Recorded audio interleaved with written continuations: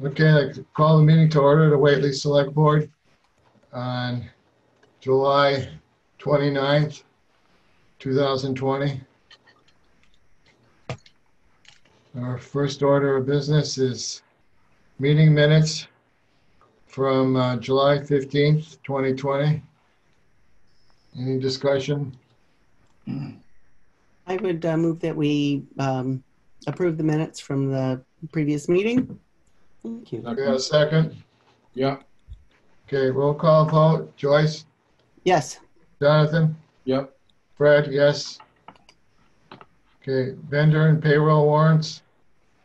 They're in the packet information. Any comments? no comments from me. Okay. Moving on, uh, public comment was an email from Mary Stewart on Chestnut Plain Road, speed and Jake brake noise. Um, do you want to talk about this all at once when we talk about the speed study, or do you want me to read it now? I guess I would like to wait till we talk about the speed study. Is that okay with anybody else? fine by me. And I don't see, I don't know if Mary or anybody else from Chestnut Plain Road is going to be on. I'm not sure. Okay. I have not. Okay, we'll leave that till later on the agenda. Okay. So we're a few minutes early for our, our first scheduled appointment. Uh, Torre Verde, uh, David, uh, Alleman, Uleman, to discuss and consider an amendment and restated host community agreement for the proposed marijuana retail establishment to be located at 424 State Road, Whately. Okay, Mr. Allman, or, okay, Yes, can can you hear me? yes, Okay, great. So uh, thank you so much for having us. Uh, my name is David Yulian. I'm an attorney at uh, sorry. Vicente Sederberg. That's okay. Uh, at Vicente Sederberg, and I'm here on behalf of uh, Torre Verde, Massachusetts 3 Inc., um, which is seeking to locate a marijuana retail establishment in Whately. And we're seeking approval of an amended host community agreement. Uh, that's simply um, kind of it's a it's a new agreement because uh, we felt it was necessary because the uh, prior agreement stated that the agreement would lapse if Torre Verde did not receive a final license from the commission within 18 months of the effective date of the initial host community agreement. So, you know, it has been 18 months, and although we've received a provisional license uh, in June, uh, we have not yet received a final license uh, from the commission, even though we're we're working our way through that. And you know, due to the uh, the coronavirus pandemic and uh, delays associated with the commission's um, license application review and approval process, uh, we have not yet received a final license. So. Uh, we're simply asking for uh, the same agreement to be re-signed so that uh, it continues to be maintained in, in good standing. And uh, that that's that's pretty much it. Uh, I provided a, an agreement to to the town administrator showing our proposed changes, um, and as well as a, an estimated timeline of when you know we hope to commence operations. Um, but other than that, I'm I'm here to answer any questions that the select board might have. And I would also mention I'm I'm also joined here by um, Billy Beats, who is the president and chief executive officer of of Torre Verde. He he's available to answer questions as well. Okay. Brian, did you, have you, or I guess Joyce reviewed the agreement? And it's pretty similar to what we, we signed uh, previously? I looked at it. Yeah, the, the and they provided a version that, that had track changes, and the changes are in the are in the introductory whereas clauses to explain the reasons for the the amended and restated agreement. Okay, There's an extra whereas. That's kind of the bulk of the changes. Um, I don't think there were any, there's no changes to any of the meaningful parts of the Substance, yeah. agreement. So I would move that we, um, uh, I guess, sign this agreement or agree to the agreement Um, Yep. Given it's what we agreed to earlier, and there's um, no, I don't see any reason to to amend it now. We just did uh, uh, the very exact same thing with another grower just uh, a week or two back. So I, I don't see any reason to to treat this any second that. differently than any other. So These guys have, have demonstrated remarkable staying power considering how long it's taken the state to to act actually. Joyce, you made a motion to approve? I made a motion. Yeah. And I seconded it, Fred. Okay, yeah, I just comment, I I saw your timeline, what you put together. I thought that was, that was very detailed and explained better the process. I I guess I appreciate that, doing that. And I didn't realize it would take until what, next March or April you're talking for, you can actually open for business, so. It is uh, quite lengthy uh, time period and a lot of steps involved, so thanks for sharing that with us. Sure. Happy to. Thank you. Okay, roll call vote. Joyce, Yes. Jonathan, Yep. Fred, yes? Okay, thank you very much. All right. Thank you. Thank you. Appreciate it. Okay, moving on the agenda. We're actually going through this early, okay. Uh, Very Lynn is- impressive, Fred. Lynn is on next for, uh, talk about the town elections, various locations, hours, election workers, and connecting to, uh, uh, also an item on robocall service agreement. Right. Um, the September 1st and November 3rd elections, we have to decide where we want to have them. Um, I kind of messed up a little bit on a time frame. Uh, in order to move an election, we actually would have to do a survey of the the site to which we are going to move the election to, have it posted on our website for three days before the select board actually votes on it. Um, the complicating issue is this all has to be done 20 days prior to the election.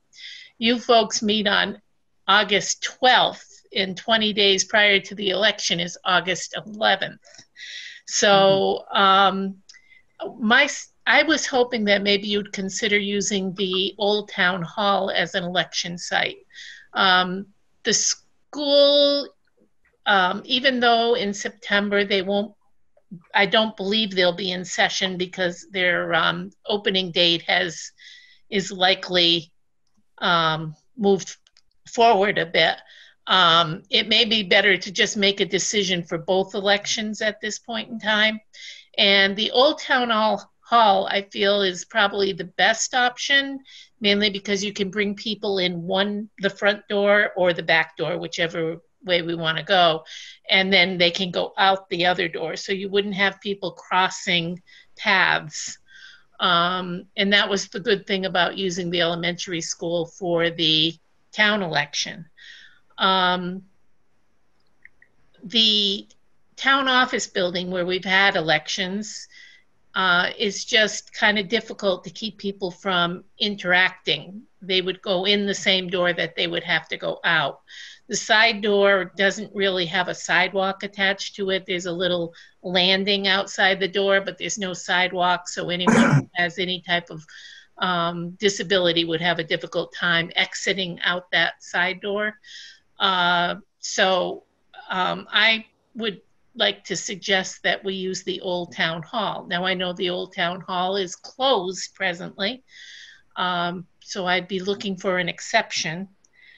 Um, I have to do the survey. I've started it, but I haven't completed the handicapped accessible survey, which needs to be posted on the website and before you you folks vote. So I did email Brian earlier about our options. I mean, one option is to keep the school for the September election and then change the November election. Um, that seems that's a possibility, but it could be confusing to the voters. Um, the other option is uh, um, if I could have you have a quickie selectmen's meeting, perhaps next week for maybe five minutes, just to take a vote on changing the location to the Old Town Hall. Um, so I guess that's quite a bit of information in a short time period. And uh, At the town, if we use the town hall, then would that, it would be on the second floor? Yes, and then I'd have enough room for social distancing, and there's the elevator for those people who would need that resource. Um, Hmm. So people would say, say if they came in the back door, go Yeah. up those back staircase, come into the back, do their business, then uh, unless you needed the elevator, right? If you don't right, need you the would elevator, then exit out the front. you exit out the front. Those using the elevator, there's a, so there's a minimum amount of backtracking to the elevator. When they get to the bottom, they can exit out the front as well. Correct. Okay. I might actually think about doing it the other way that people would come, except for those handicapped folks who would have to use the handicapped entrance, Yeah. using the front staircase and go out the back. I think that one may cause less interaction. Oh, okay.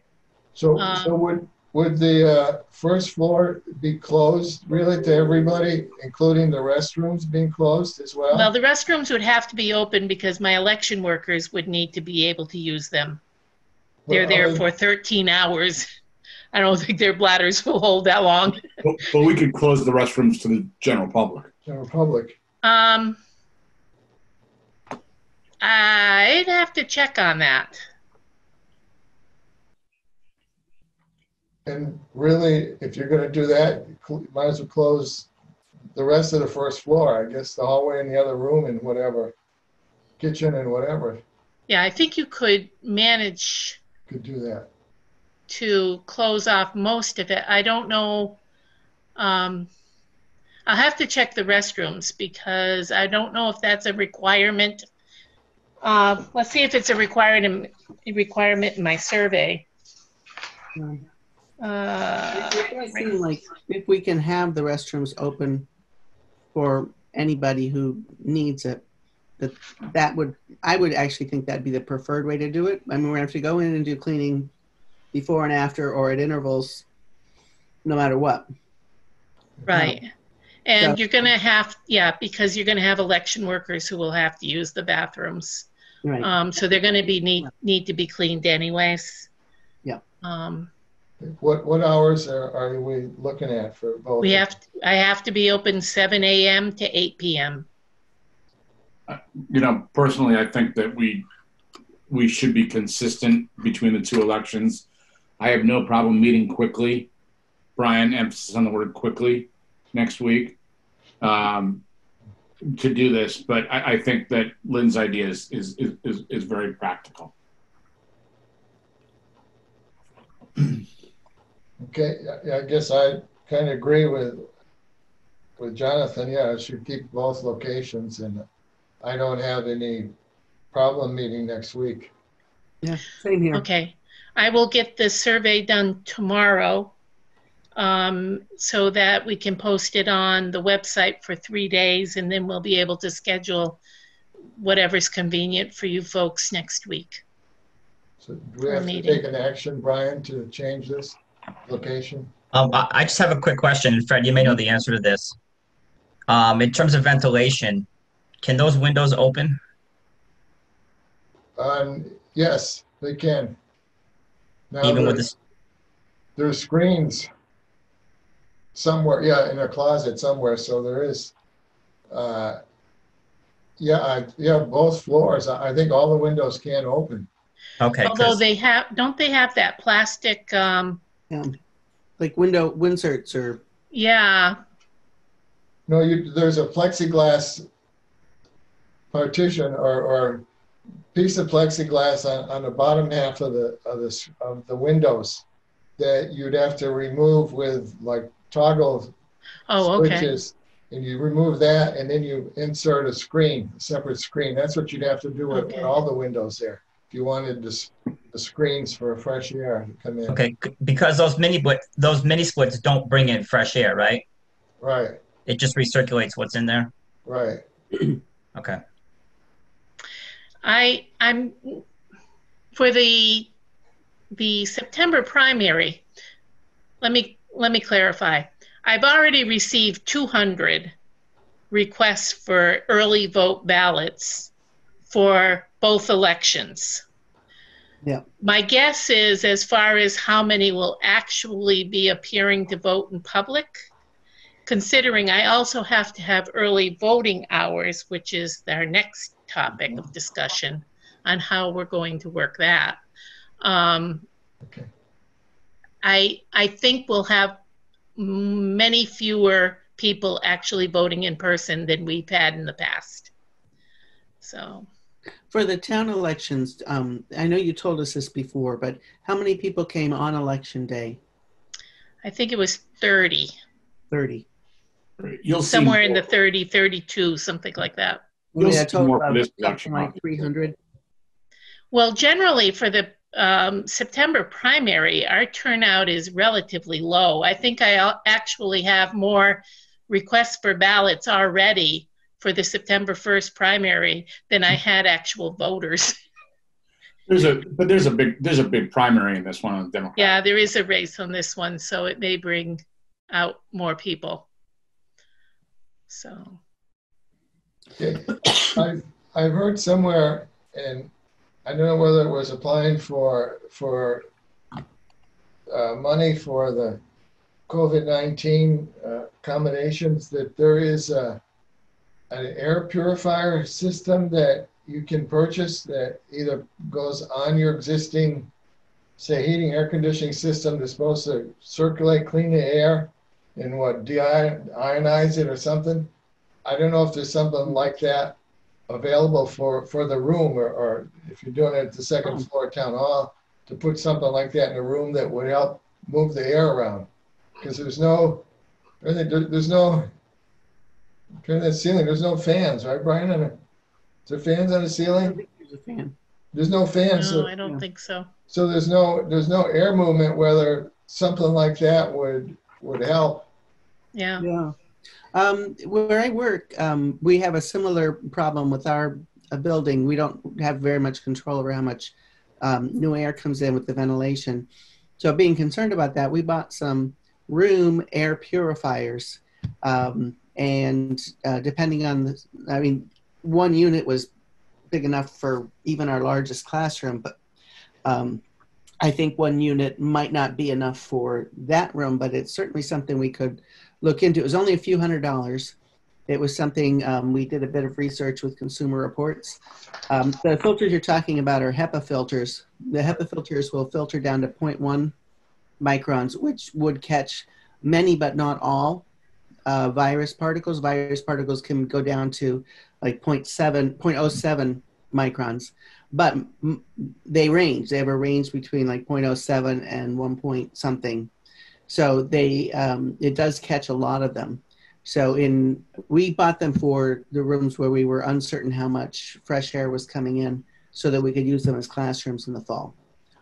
So I've got some of the research done on that already, and um, I can uh, I can go back and look and see how many square feet um, or cubic feet that can filter, and you could and it's really quiet. I love these little guys because they're really quiet. And Are they, sounds they're used with, with windows closed or open or? Yes.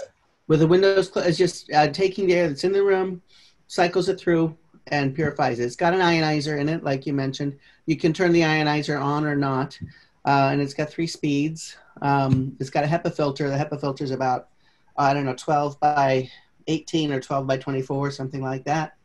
Um, and that's um, that's something we we could consider.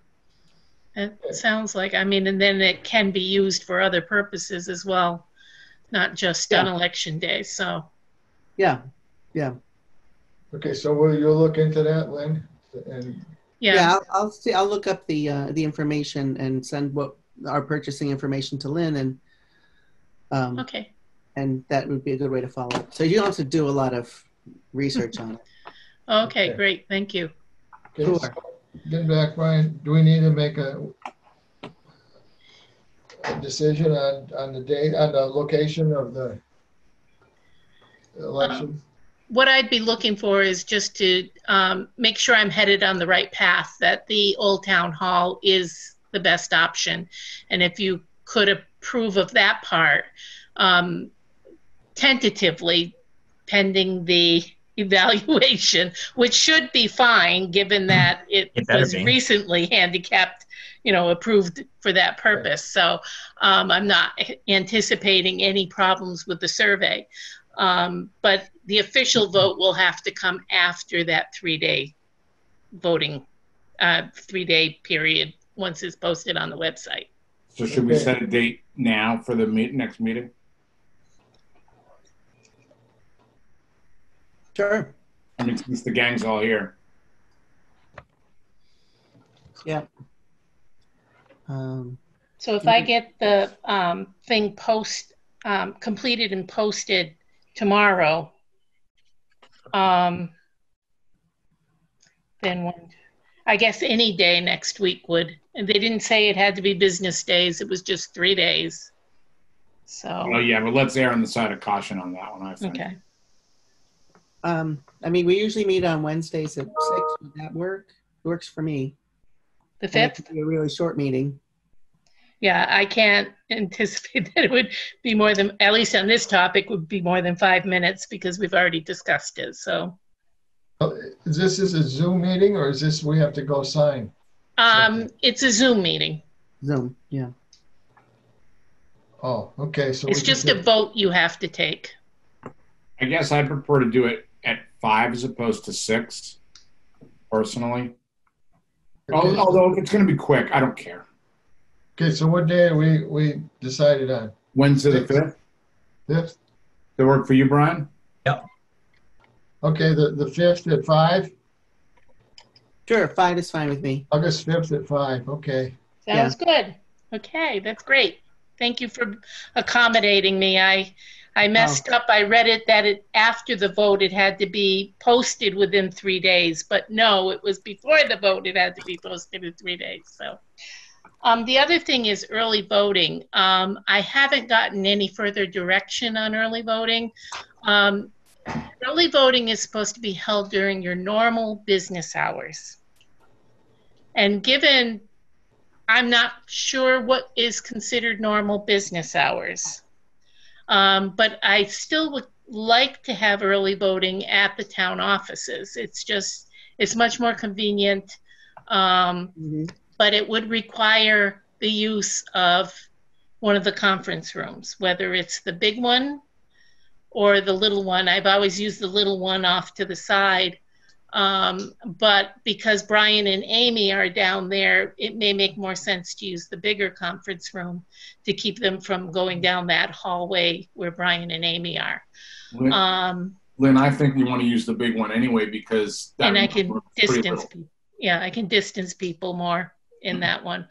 Um, It's, Lynn, is, is it possible to use that, the open meeting room behind you, behind you and uh, your area? You got the hallway and you got a big open room and you got an exit, you got an exit door at the other end? no, there's no exit door at the There's other no end. Exit door? No, Oh, okay, so, no. Um,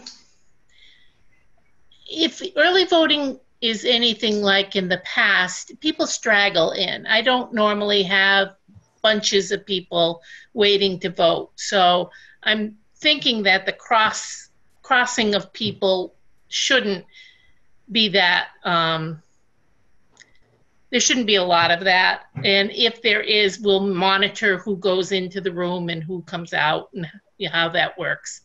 Um, the, my biggest question right now is the hours, and I won't have an answer to that until tomorrow. We have a Zoom meeting with all the cities and towns um, on elections tomorrow.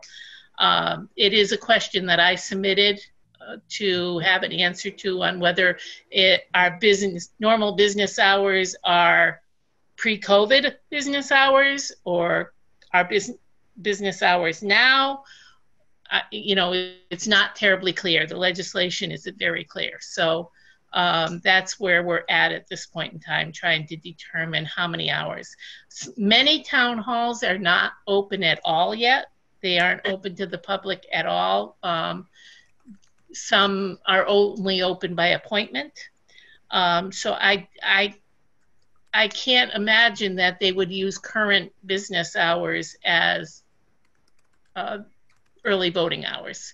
So uh, that's still up for grabs, but as long as I have your okay to use the large conference room, seeing it's not used for meetings at this point in time, um, I can set things up and leave it there for the for the duration of early voting, which is um, a week for the September primary and two weeks for the November election.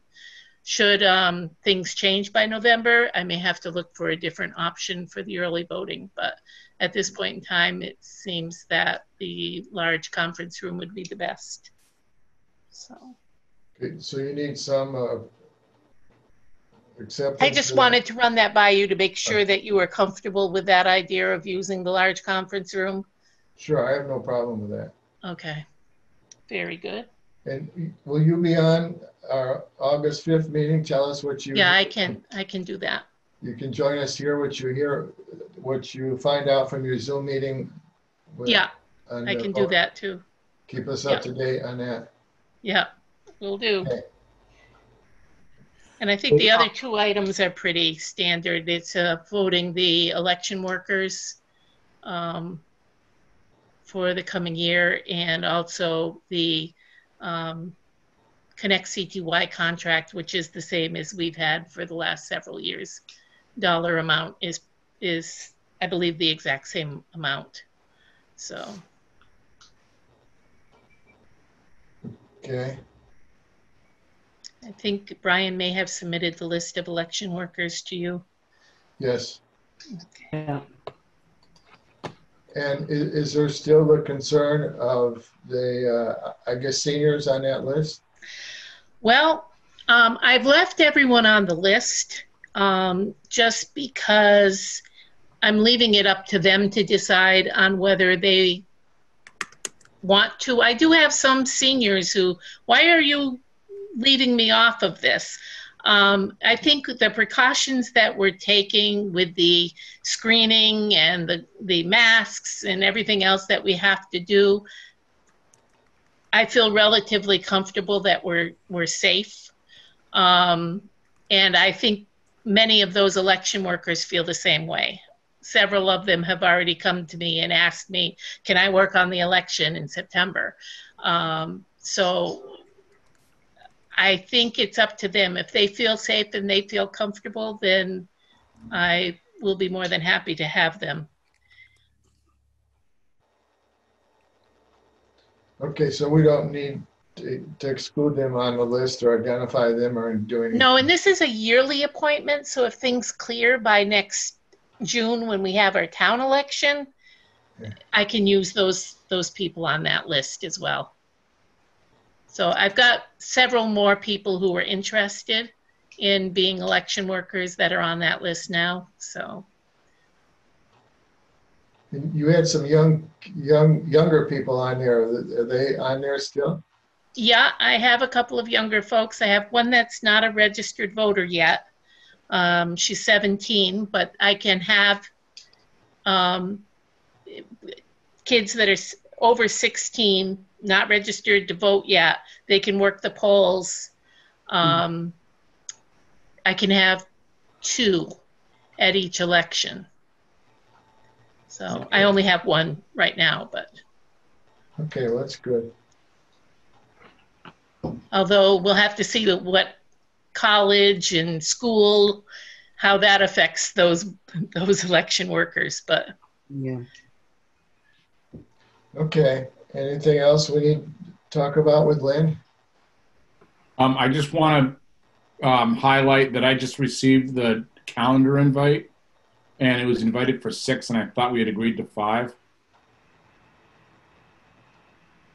Yeah, I've got five on my uh, calendar here. Yeah, so I don't know whether Amy just did that um, because she's organized, but it's but if Amy's on, it's five o'clock, not six o'clock for the for the invite.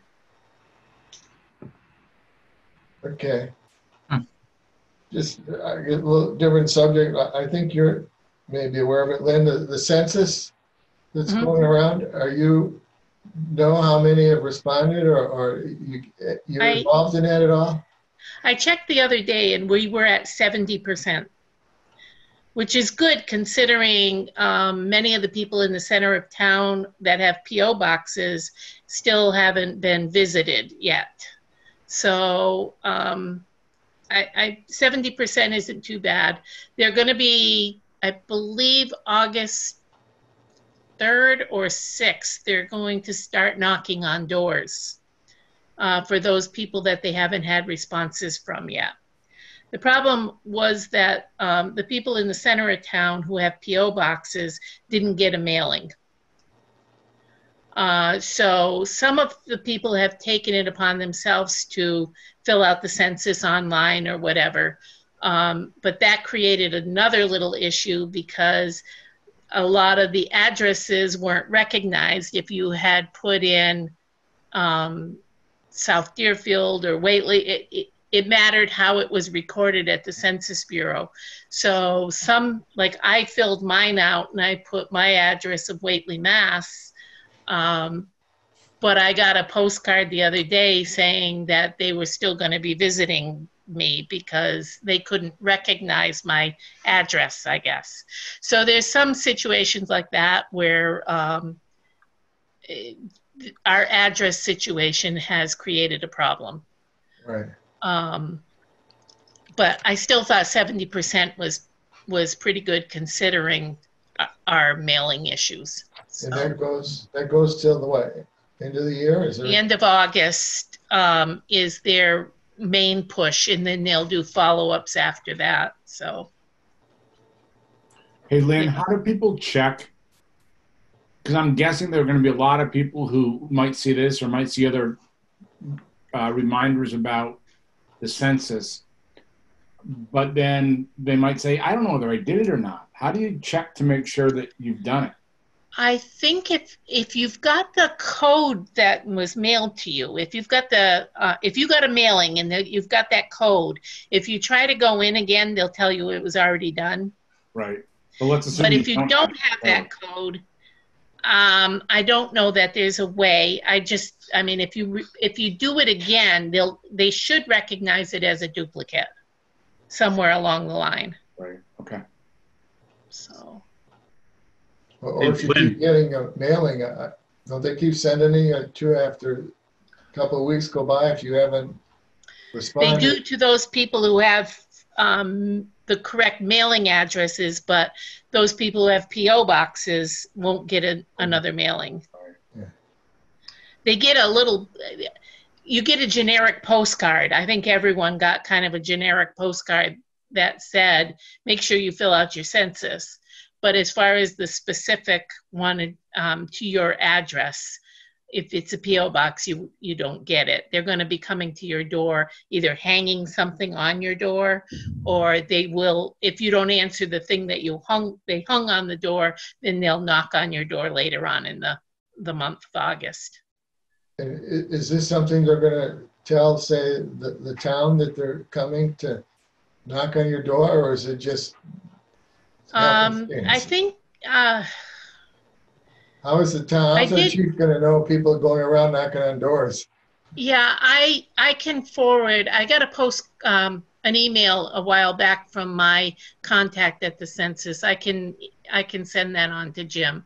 I think they actually do.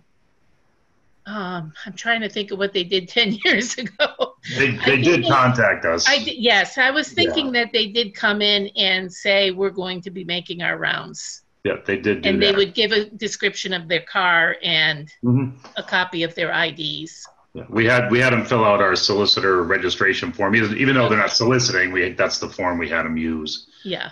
last time. Do you know if there's gonna be any digital, um, literature or anything that we could post to social media to let people know that they're gonna be around? Uh, I've, I've had I people in the check on that. past. I've had people in the past tell me that if somebody comes to their house, they're going to be greeted with a gun.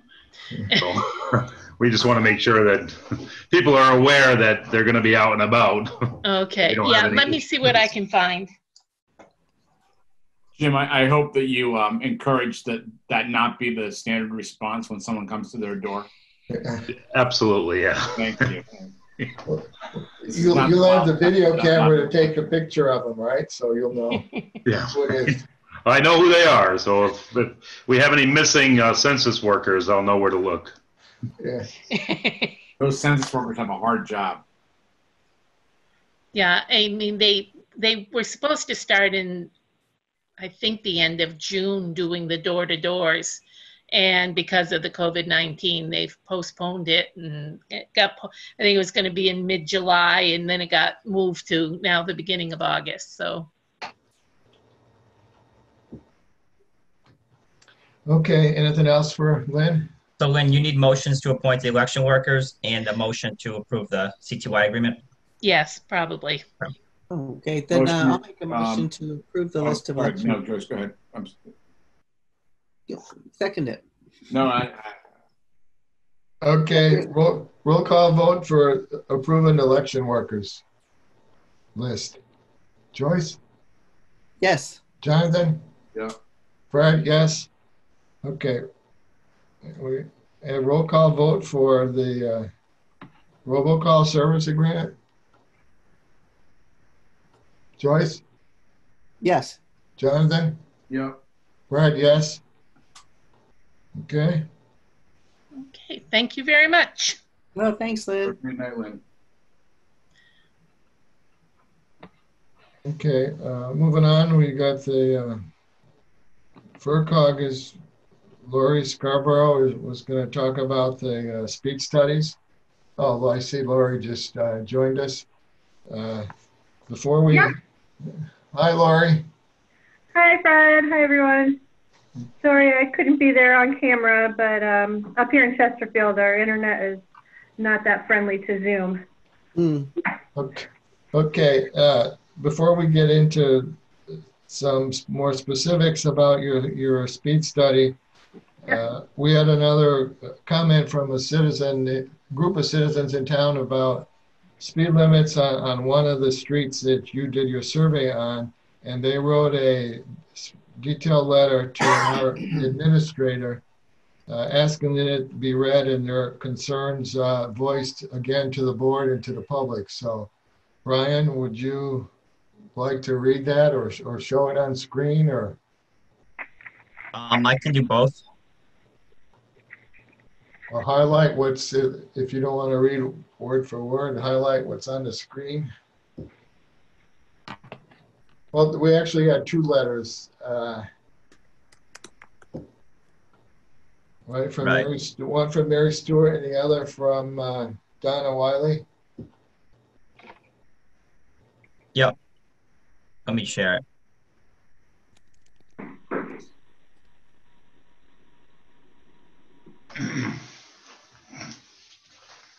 Has, has everyone that's on Zoom today seen these letters? Well, I've seen it because it's in the packet, but I'm not sure Right. anybody else has. Well, I don't know. Keith, have you seen them? Yes, I have. Okay. And the chief, Jim? I have not seen it. Okay.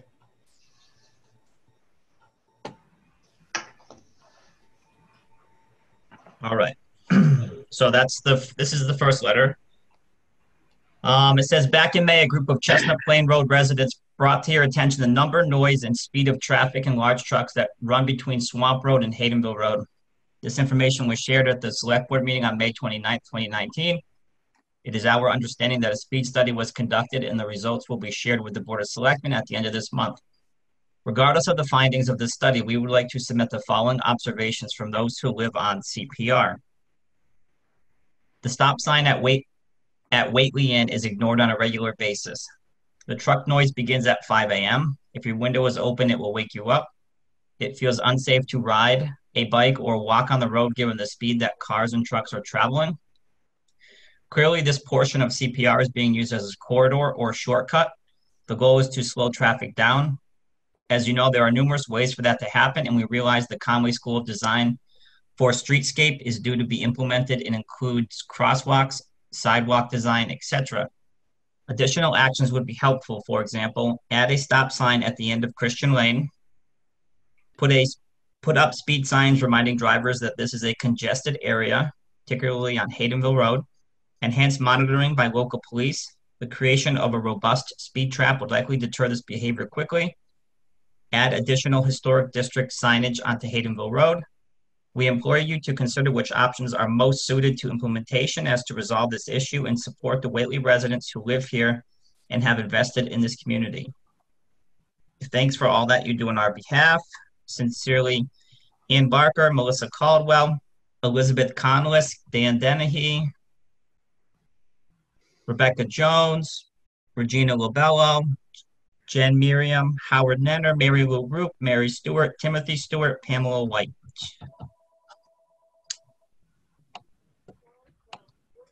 That was the letter from those residents. And then uh, the board also received a letter from um, Donna Wiley and um, Neil Abrams. Just wanted to make sure that they both signed it. Um, Fred, do you want me to read that one as well? Well, if it says the same stuff, just uh, paraphrase. Um, I mean, it, it, it, talks about speed and, and speeding along this side of the, uh, up along this part of the road. Um, it talks about the intersection by the center school, um, in terms of how it's difficult to navigate. And then the Haydenville, uh, Haydenville Chestnut Plain intersection. Um, there's issues, or they say there's issues about people. I think I think the proper term is rolling stop. Um, that they don't necessarily stop there. Um, it concerns about some visibility with the the current setup at the Whately Inn. Um, but those are those are the main issues of the letter. The, the current setup at the Whately Inn for outside dining, is, is that, I- know they, they mention it here. Is that a problem right now? I believe I believe I think both Keith and Jim have checked it out. And is it There are some? Jersey barriers there that, so it's probably less visible than it used to be. Um, less clear, you know, view across the, the parking lot. Well, the, I, I spoke with Brian about this um, when the issue came up as far as the Jersey barriers go.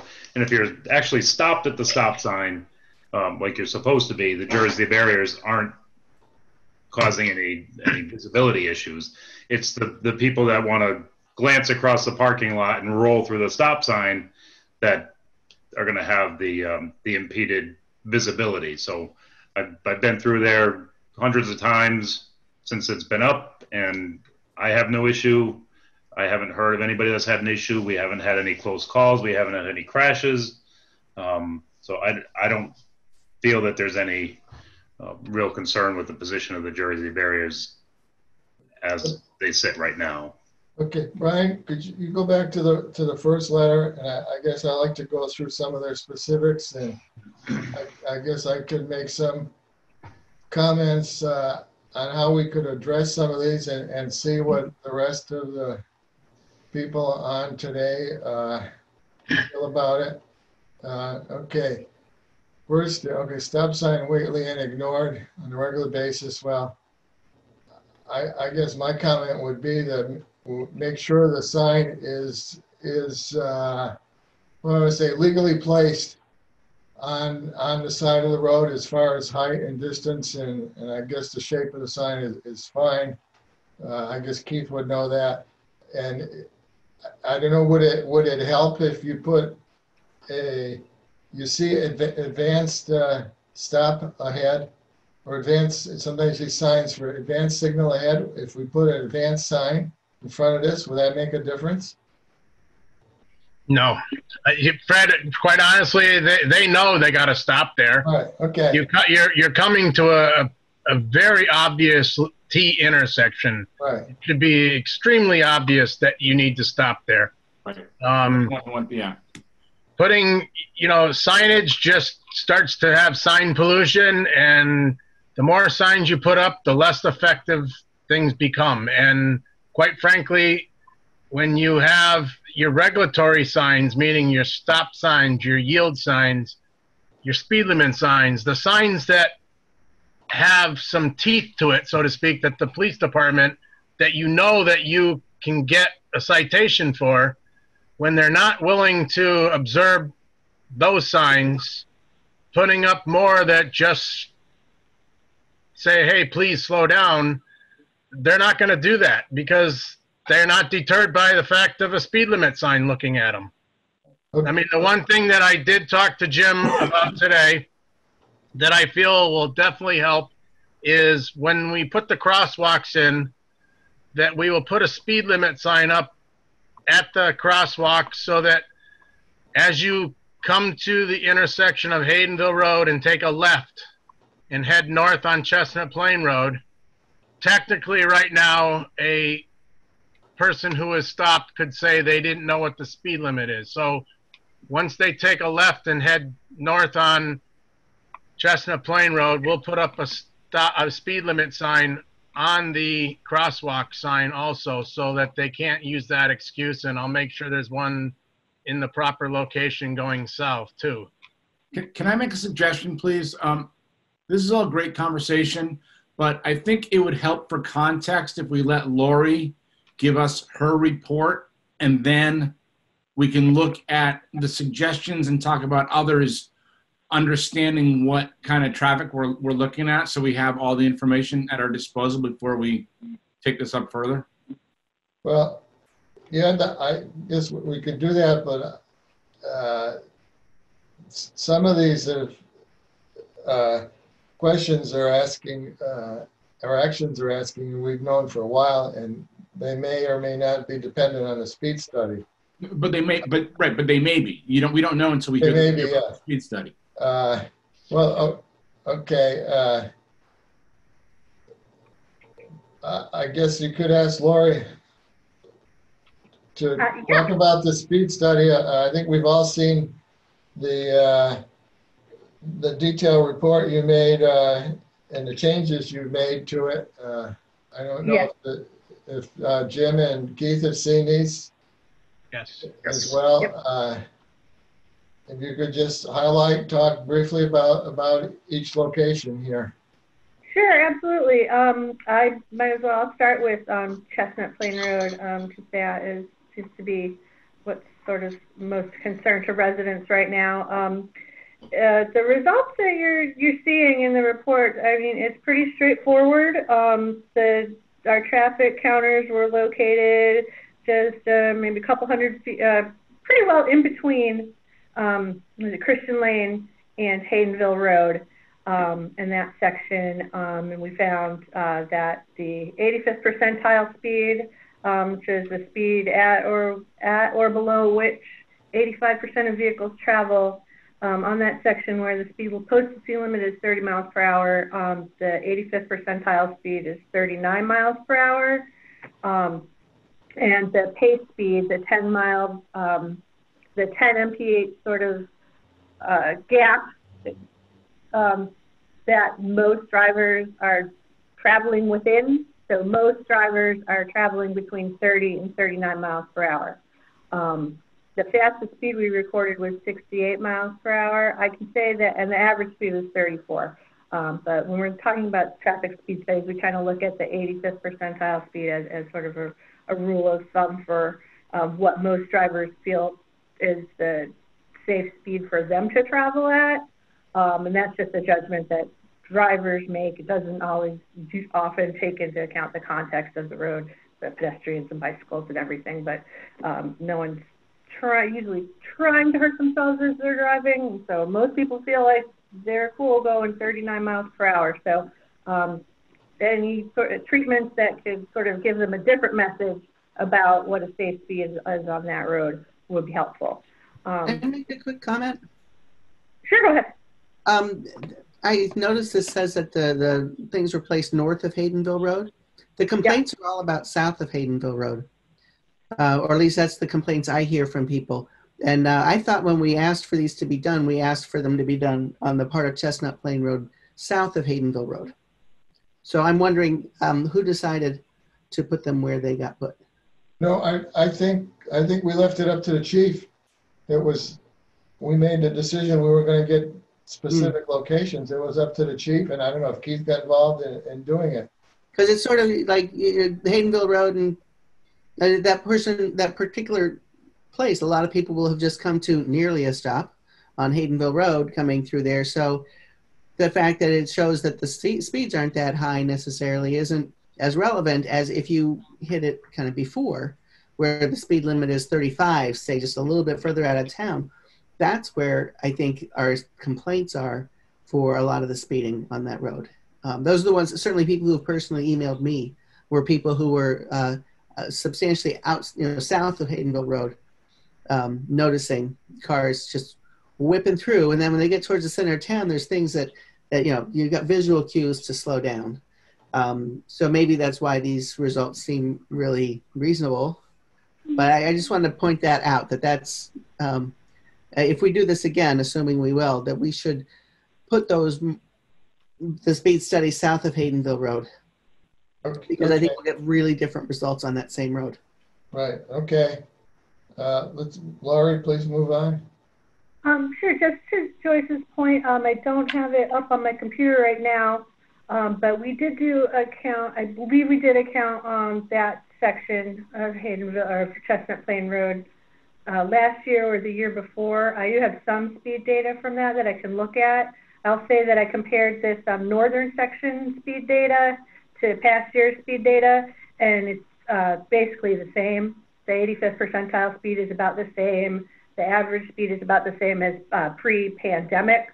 So I could at least um, af- um, uh, get you the, the speed numbers from our previous count on that south of Haydenville Road section. Um, and that will give us at least a good sense of what the vehicle speeds are on that section without doing a, a new count, um, which we're which we're happy to do. Uh, we can also do a new count later this season as well. But just saying that I honestly, in this and in other counts that we've done um, this summer, um, maybe it was different in April, but now in June, July, speeds that we're seeing not just in Whately but sort of around Franklin County are about the same as they were pre-pandemic. I know um, for a while when everyone when there was nobody out on everyone felt there was no one out on the road, there was sort of a state of sort of reckless driving. But I, I'm getting the sense that that's calmed down a little bit, but still gotta gotta watch out. Um, Hey, Lori, were the number of vehicles pretty constant as well? Um, yeah, it's about twenty percent less than last year at this time, say. Okay. Yeah, yeah. The, the the other thing I noticed, that the number of vehicles, look, looking at what you uh, identified as peak AM and peak PM, they're not really representative of, of normal traffic. You know, a morning Yeah. peak hour at 11 o'clock in the morning is not what, what Yeah. most uh, traffic engineers expect to see. There was no morning peak hour basically on, on some of these locations, so. Yeah, Uh, that's, guess- that's, yeah, you're right, Fred. That's one of the thing that is really different. Everyone's Right. of real, predictable patterns, yeah. Yeah, we gotta keep that in mind with, and and at the time of year, the time you, you, you did this and, and as volumes, as congestion or, or, or volumes are less, speeds increase. So if your, your volumes are down twenty percent, well, it's easier for people to go faster because there's less vehicles out there, so. Mhm. Okay, please proceed with the Sure, um, next one. yeah, I think I'll just move on. If we have any more questions about Chestnut and Plain Road, we can come back to that. But, um, if we want to move on to River Road. Let me do that. Let me find Okay. River Road for myself here. Okay, now Road, I found this one interesting. I hadn't really looked at the speed data on this uh, road before. Um, and uh, yeah, with the posted speed limit there at 45 miles per hour, um, that's the 85th percentile speed. That's probably how that speed limit got set. Um, we did not really record any significant amount of speeding violations, especially when we look at that 10 mile per hour um, enforcement tolerance. The pace speed is between 36 and 45, so most people are going below 45. So there's I, I, there's not much. I was actually a little surprised um, at how little tech speeding was going on there technically. Uh, to be honest with you, so um, I can answer questions about that, or I can just hop over to Haydenville Road. You can move on to the next one, please. Let- Do we Lori- happen to know, um, do we happen to know, because on River Road, the speed limit changes from 40 to 45 at different Yeah, this is in the 45 section. It was actually just right around um, uh, the uh, Hurley Field uh, driveway. I Okay. feel like um, I looked at the map and it looks like it was actually probably between the field and the ice cream stand, the field, the driveway into the ball fields and the ice cream Okay. stand. I think it's just like right around there. Um, yeah, and I did double check after Brian corrected uh, corrected us. I think we had a typo in there. It had the speed at 40 when we did this originally, but checked uh, Google Street Images and it is definitely 45 in both directions there. Um, Lori, how did you obtain the, the speed data? What equipment did you use? I'm sorry? What equipment did you use to obtain the speed data, to monitor speed? Oh, sure. Yeah, we use um, uh, automatic traffic recorders or ATR devices. Um, Pneumatic, pneumatic tubes.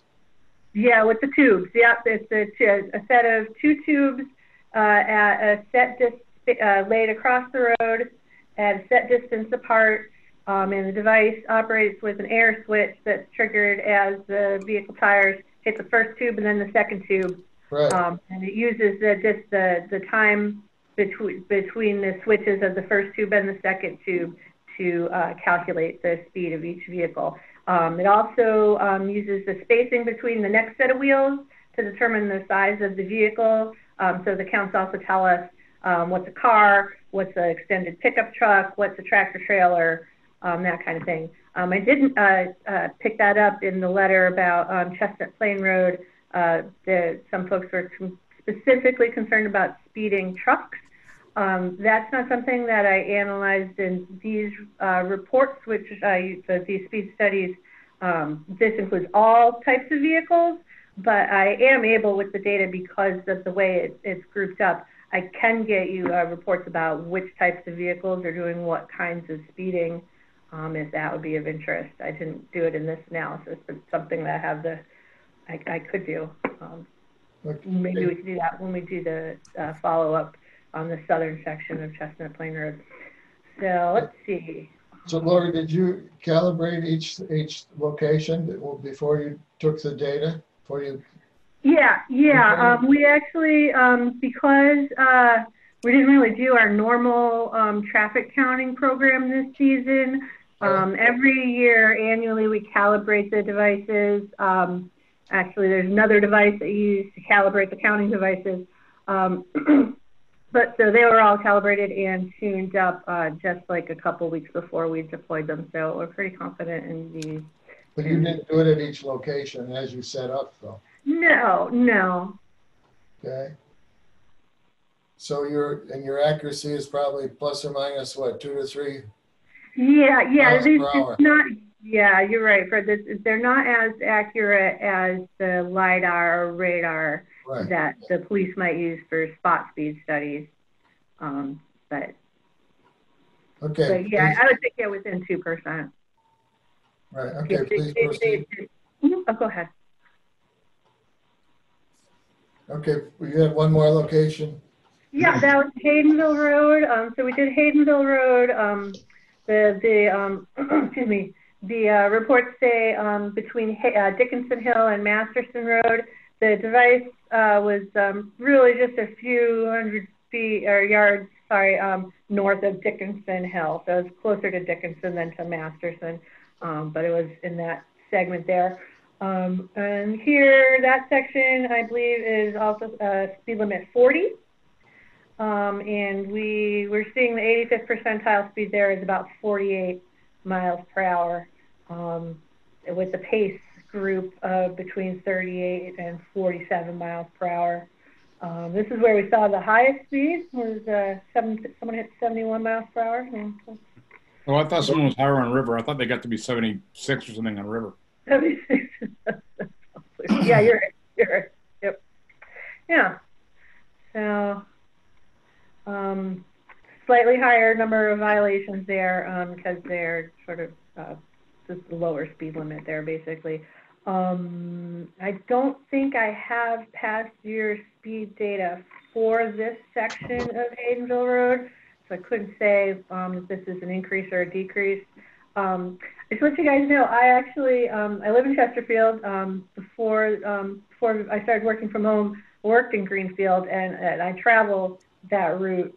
Take Haydenville Road to Chestnut Plain Road and jump over to five and ten daily basis, every day, both ways. So I'm very familiar with um, both of those roadways, and just so from my experience, um, I feel like it's probably similar to what it was before the pandemic, speeding wise.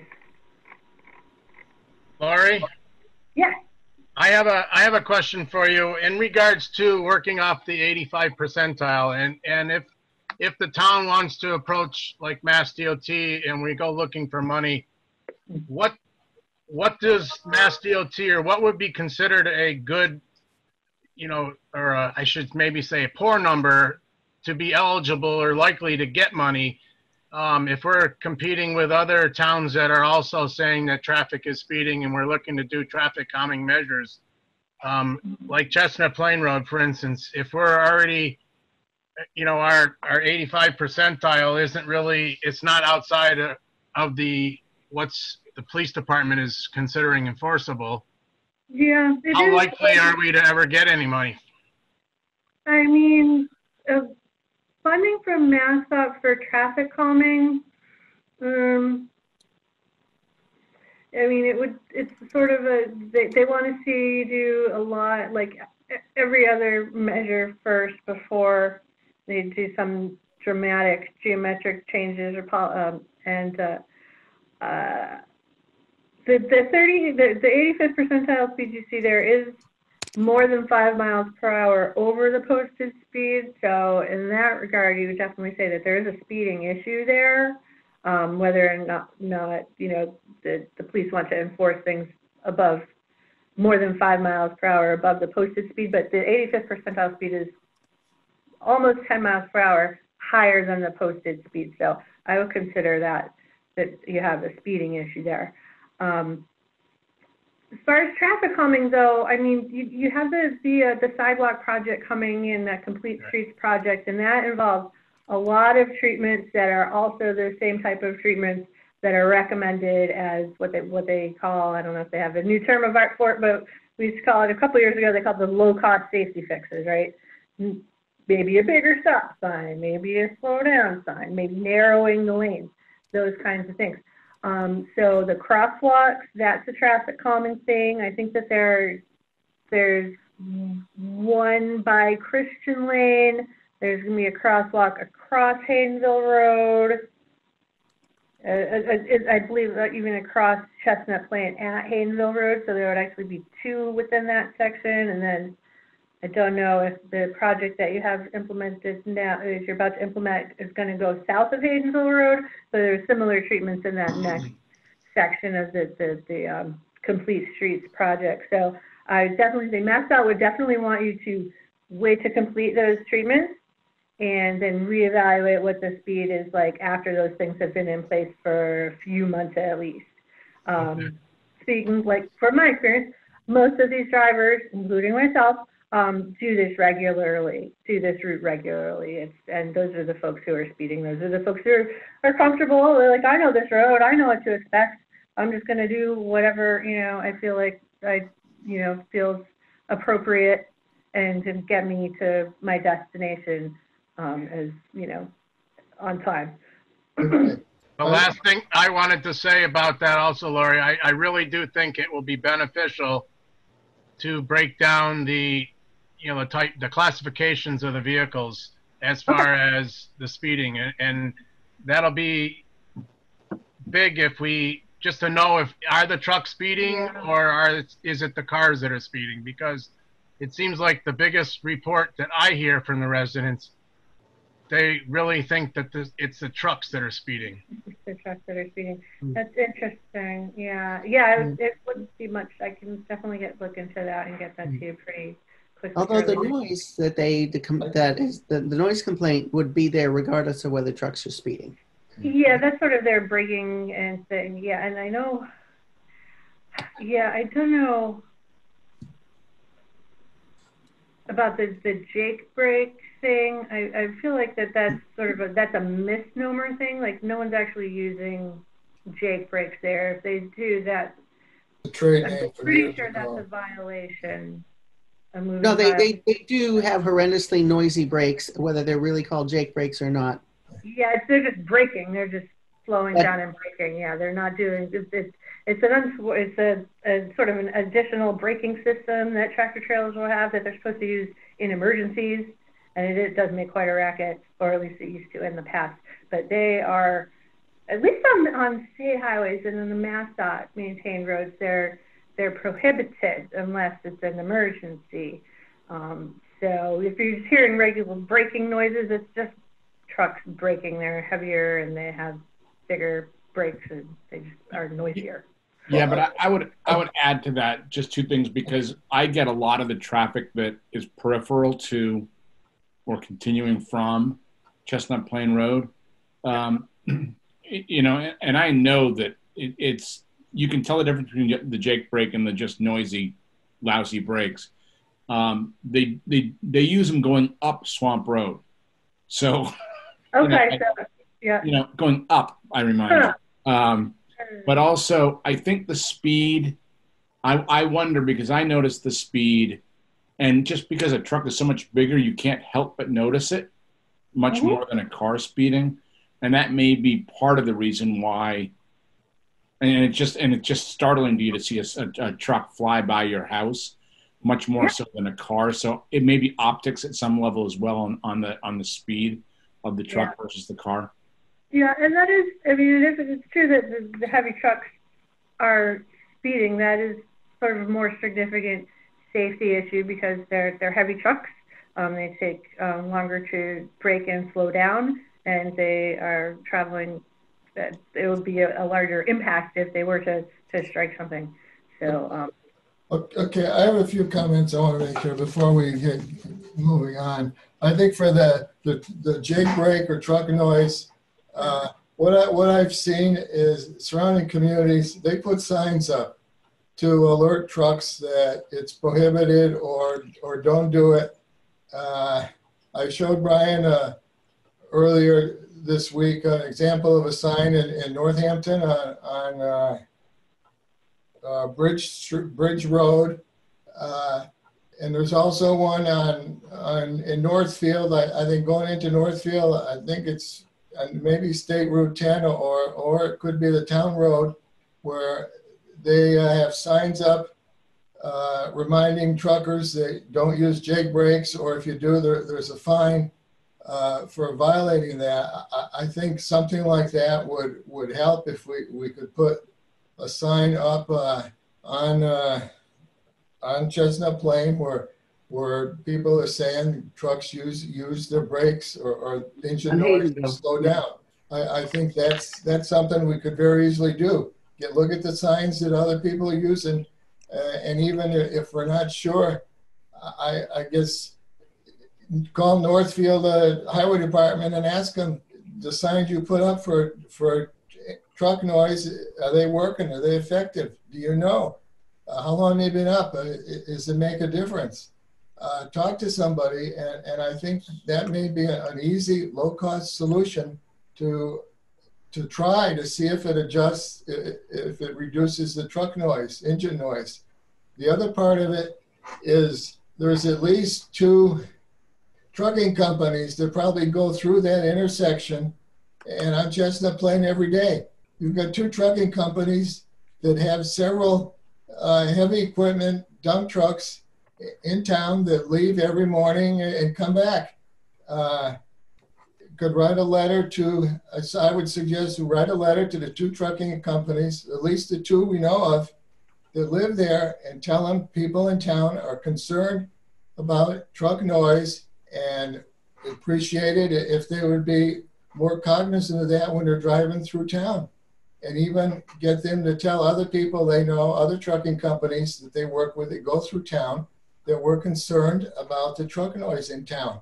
I mean, that's an easy solution to, to look at that. The, the other thing, okay, jumping back over to uh, the speed studies here. I- I guess, you know, we, we've got three locations here that were identified with, with speeds uh, exceeding the speed limit. And there's, there's probably other locations in town. Well, Jonathan mentioned one. There's probably, in Chestnut Plain is another one. Uh, I guess I would like to see our, our police department here develop a speed monitoring program where they look at this data that Lori has provided and decide at least these three locations are surrounding what is the best time for them to be out there to enforce speed limits. I mean, you're not gonna, it doesn't make sense to to focus on the driver going 68 miles an hour because that's a rare occurrence and it could happen any day and it's at four in the morning. So that has no impact on, on the overall speeds. Uh, I guess I would like to see our police department set up a plan of how they're going to monitor these and other locations in, in town, whether it's uh, having a, a, a, policeman there with a, with a, with a radar unit monitoring speeds, or or or whether the signing needs to needs to needs to be different or or even parking a vehicle. You've got three vehicles. I, I don't know the condition of the third vehicle.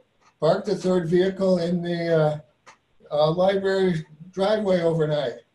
Sometimes presence of a vehicle forces people to slow down, and and I guess and also try to focus. I guess the police department focus on traffic surveillance more on some of the town roads I, see in the logs you, you're on State Road, you're at the park and ride lot.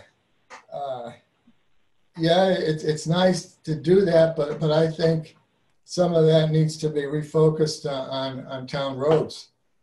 And and getting getting back to the some of the data here, you know, the ones that are within, like on this one, within 30 mi 39 miles an hour, I guess you're probably not going to change the driving habits of within people. It's the ones over 39, and you can see in Lori's data, there's there's a definite cutoff by by mileage groups, by speed limit groups. Like here, it could be over 45 or over 50, where it does drastically go down from say 500 up to a, down to 100. If you focus on them 100 vehicles that are speeding, look at the time of day that them 100 vehicles are going through and that's where you set up your traffic monitoring to try to control them 100 vehicles you're not going to control 1300 that are going over the speed limit and it's a waste of time to look at the one going 68 miles an hour i guess that's something i'd like to see our police department get involved in look at some of this data and and arrange your your workforce to and equipment to to to monitor some of these conditions and hopefully people will reduce the speed. I mean, if you don't do anything and say well, we're going to put more signs up or something, I don't know how effective that that is going to be. The other thing that I guess we didn't fund, and it still could happen, is uh, I think the, the police department wanted uh, remote speed limit signs, right? To one or two location, one or two signs we're looking for to, to put at various locations to monitor speed and tell people flashing speed limit sign how fast they were going. I guess that's still a possibility. If I think part of this speed monitoring program is where you think you want to put them. If you're not effective on controlling speed on River Road, maybe one of them signs may be working there. Or on Chestnut Plain Road, maybe that's where to put one of them signs. But I think the police department needs to get more involved and do something with this, with this data, this information. And I guess I would I would like to see a plan come from our chief. I guess within the next month, by the end of, end of August, uh, our meeting in August, I'd like to see some plan for us to, to see what you're doing, how you would address this. I'll offer my expertise and services and traffic monitoring and speed help you develop that plan if you want. But I, I think it's worthwhile to at least develop a plan and see what we can do with this. Maybe the end result, well, it doesn't make any difference, but at least we, we tried and, and we focused on some of these locations. Do, Jim, do you have any, uh, I caught you off guard, I guess, asking you to do something. What is, That's not catching me off guard. I was just does that waiting. seem, I was just waiting for you to finish. does that seem something reasonable that you could put together?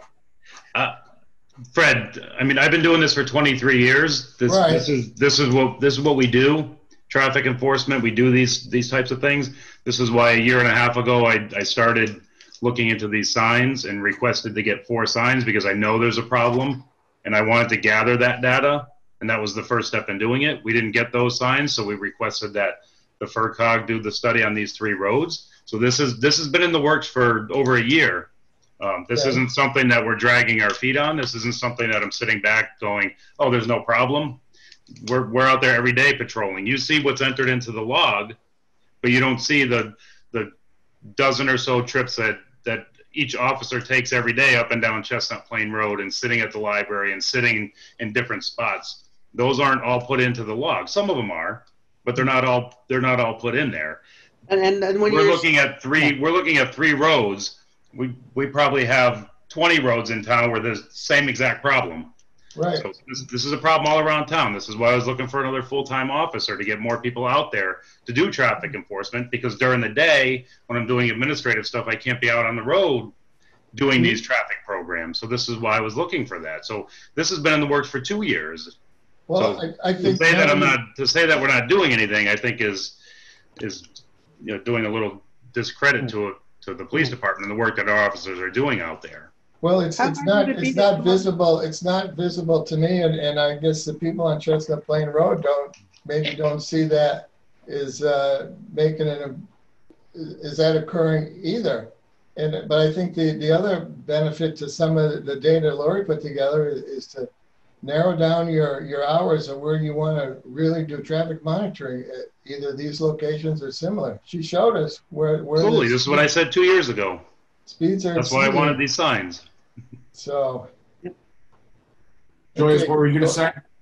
Joyce, you Uh, had something? Yeah, yeah. Is there um and maybe people I mean I think you're right. If if I don't see you out there pulling someone over for speeding, then I don't think it ever happens, right? If I mean I- typically, right? Um and uh, I think from the letters it sounds like people think that no one has ever stopped for speeding on Haydenville Road because if people drove by on their regular trip and saw somebody pulled over for speeding, then word would get out um, so maybe what we need is to let people know what how much is done. Like like how many hours per week are your officers doing that? And that's um, you say it's not in your logs because it's not an incident, but it. I wonder is there a way to keep track of that that's not going to be too onerous that we can maybe be able to let people know um, you know, so many hours. You don't have to say when, so people don't know, right?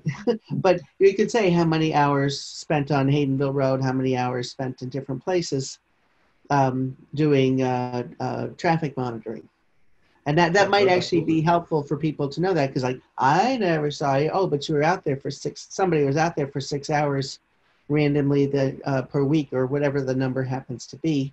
Hmm. Then that actually might be a helpful. Um, helpful thing to do.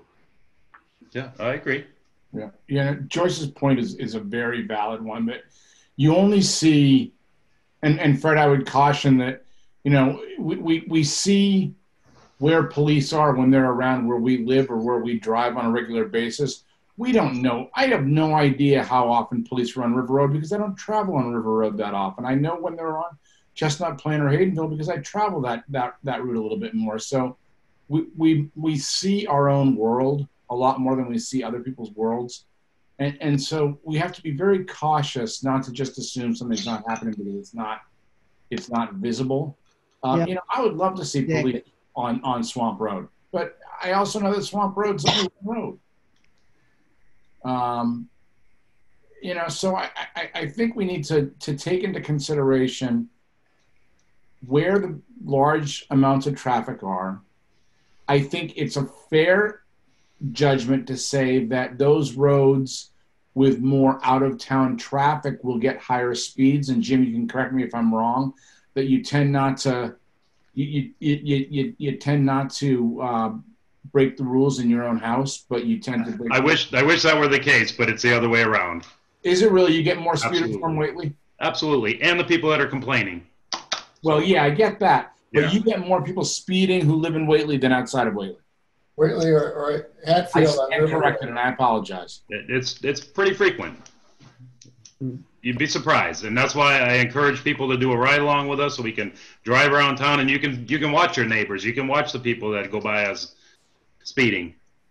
Oh, You can, I, I encourage anybody to do that, I- including people that complain. You, I'll, I'll come to your house. We'll, we'll go out and we'll do some radar. You can estimate the speed of the vehicle. We can, we can capture the speed of the vehicle with the radar. I've, I've done that for years and years and years. And nine times out of 10, people's estimations of speed are way off. I've got people on, on Chestnut Plain Road that tell me that there's cars all day long that are going 70 and 80 miles an hour down long, down Chestnut Plain Road. All day long. I, I know it's not happening. You got the one or two, which I know we've stopped them, we've cited them. They're probably going to be losing their licenses shortly, and then we'll see them speeding again, and then we'll arrest them for driving without a license. It's the same battle that we we fight day in and day out all around town. These are just three roads that came up because you know people voiced their concerns, which is perfectly understandable. But I, I can't sit on a road in this town without somebody stopping and telling me, sit in my driveway, because people speed, speed by my house all the time. And we go and we sit in their driveway, and I leave notes at the station. Go sit in this person's driveway. They offered to, to have us sit there. So we'll go and sit there. And sometimes they come out, sometimes they do radar with us. So we, we've been doing these things for years. It's some, sometimes it's, you know, one officer covering 21 square miles. It's, it's difficult to, to really have a, a major impact on traffic. Okay, how hard would it be to have somebody out there at uh, five o'clock in the morning when the truck traffic starts on Haydenville Road and uh, when the noise complaints are happening? How, how difficult, is that what you said? Yeah. Do we Um, have like is that like hours that we don't normally have someone on duty or? Yeah, no, we normally don't. I, I usually come in at seven. I've come in at six. I've come in at five. Okay. I, I've come in numerous days. I, Yeah. So we don't Most normally recently- have someone on between roughly midnight and or maybe two a.m. and correct. And Seven? people know that. And that's why they, that's why they speed at six thirty in the morning okay. I- because they I- know we're not there. I still think I, I like to see something from you, Jim, and if you want to call it a plan or, or a description of what you're doing for speed monitoring in the town and how are you're using this data. Uh, Whether it's one page or 50 pages, I, I- guess I, I would still like to see that. I think it's going to inform the, the residents that you are doing something, you are concerned, you're making an effort. We're not going to criticize because you didn't do it. Oh, I, We just totally want to publicize what you're doing, and and maybe you'll get feedback from people saying, "Oh, we didn't know all this was going on," or Yeah. "That's that's great that we're that we're doing that." Uh, I, I I, I put, I I put this information in, in requests when we were looking at the signs, and this is what I wanted to use the data for. So this is, I mean, this is great that I have this data on these three roads right now. I mean, it's, it's something I could turn around tomorrow. I've already got a list of the, the times and the roads that, to have our officers be out there. It's already implemented. Jim, the speed signs that you see out there, do they register data or is that just a snapshot that goes away? The one, the ones that I want to get, the ones you see in Deerfield, Hatfield, Sunderland's got one or two of them now. Um, those all collect data. They collect similar, similar data to what we've got from, um, the FRCOG, but it uses, it uses radar to capture the speed of the vehicle, which is calibrated and tested. So it's, it's gonna, it's gonna be more accurate than, than the tube counters. And, and what do those run? Twenty-eight hundred dollars a piece. And, and Lori, did you say, and sorry, I, I apologize, if I, I apologize if I missed it. Are there funding sources for those types of, um, Yeah, um, some small sources, yeah, and I'm pretty sure um, that was one of the sort of pro- uh, line items in your complete streets um, prioritization plan. I don't recall if that was in your first round application or not, but that would be my first suggestion as far as statewide funding sources um, for, for those types of signs. Yeah, that's definitely an eligible um, activity under the Complete Streets program. Okay, Lori, are you aware of, of other towns our size, uh, or any size, I guess, that have a, say, a speed monitoring plan or program that you could share with us?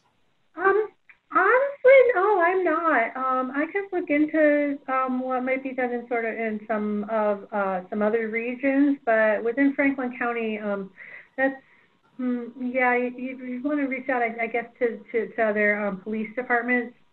Um, but uh, I'm not aware of any town that has like a sort of that a publicized. I'm not aware of how most police departments um, enact um, speed enforcement.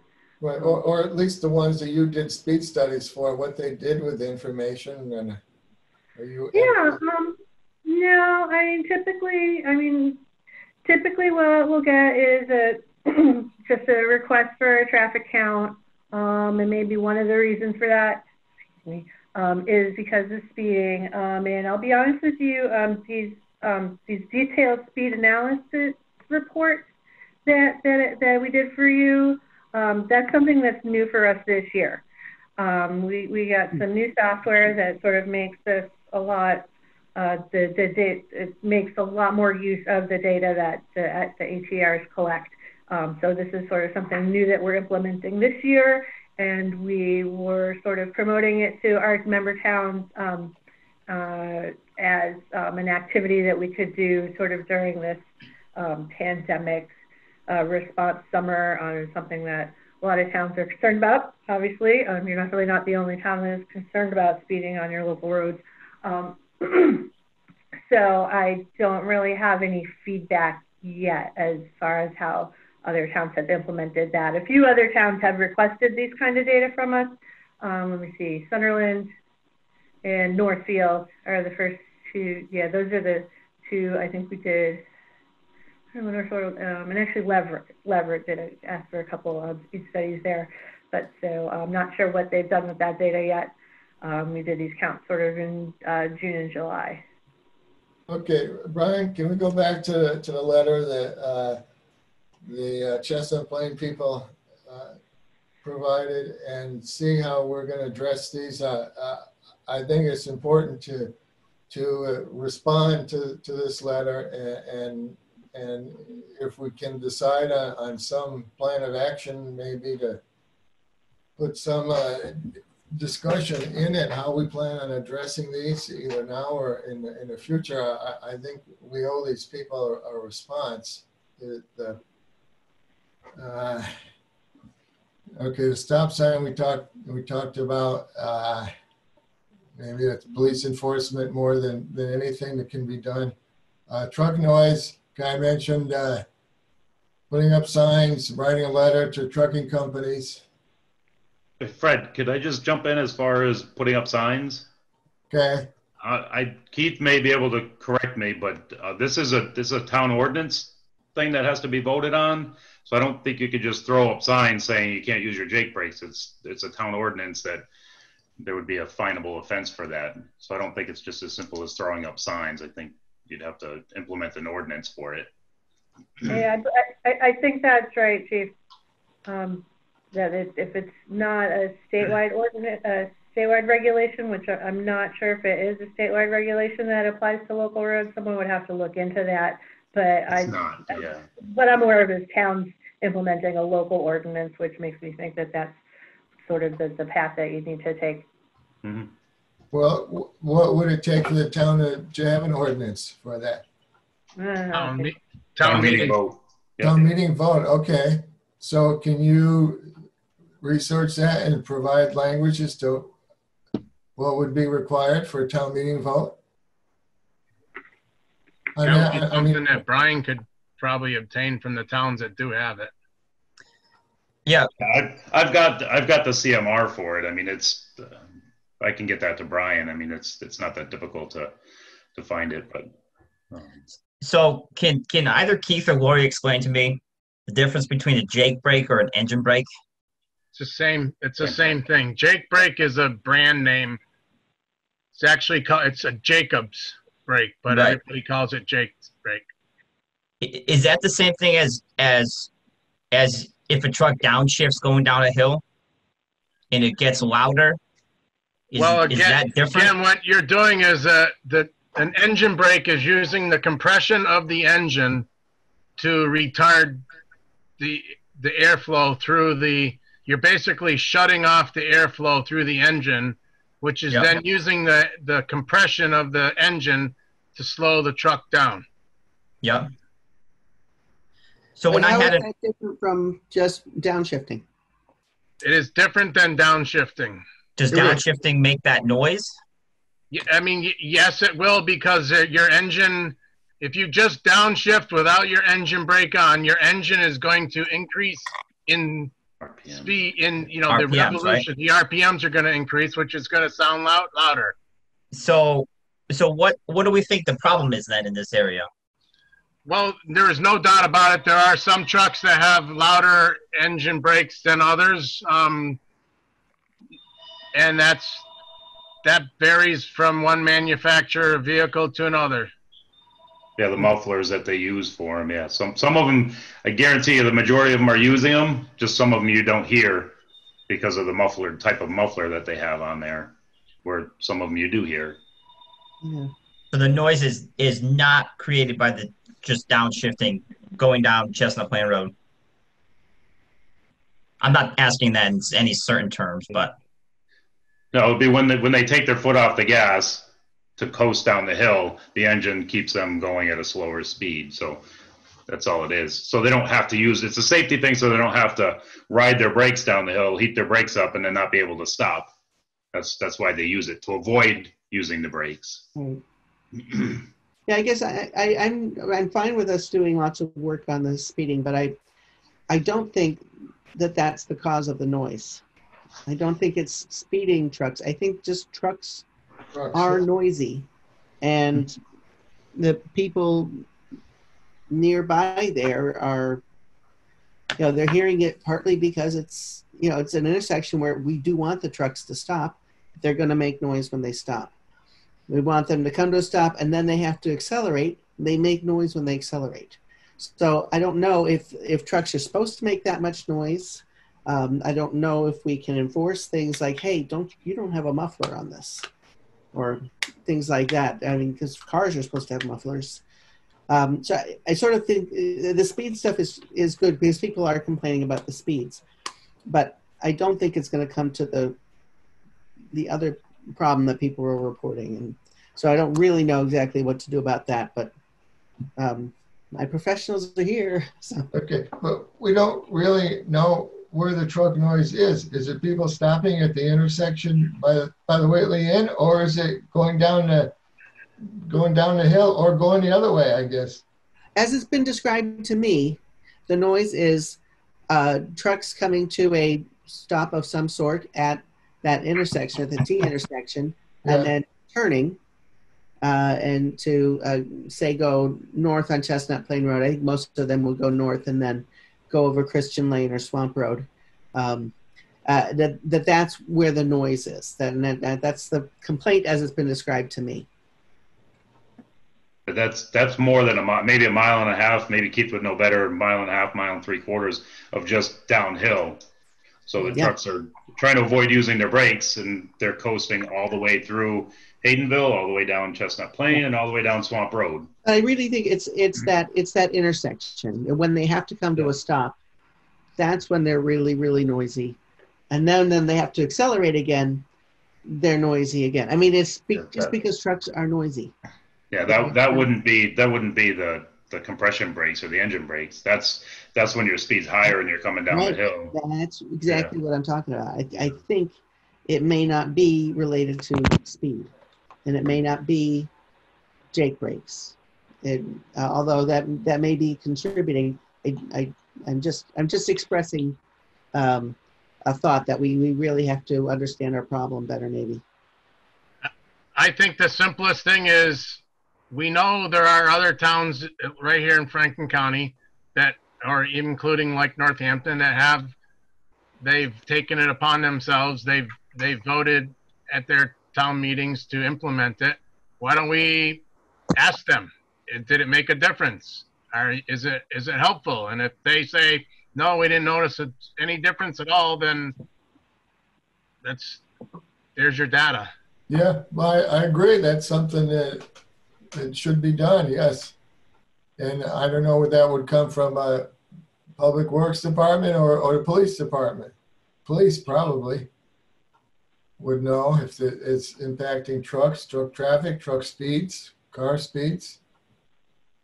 I, I can certainly make some phone calls. That's not a, it's not a problem. I know, I, I don't know if Bernardston actually implemented it or not. I know they're trying to.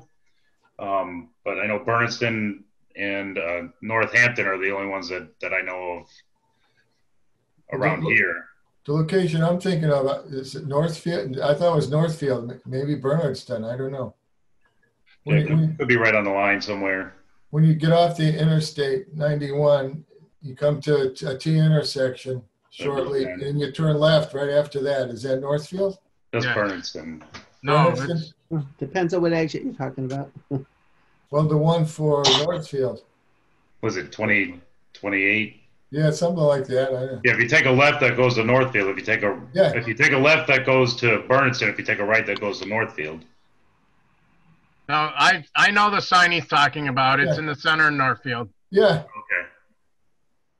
So uh, you're saying at the end of Route 10 where you take a left, not off of 91. Right. right.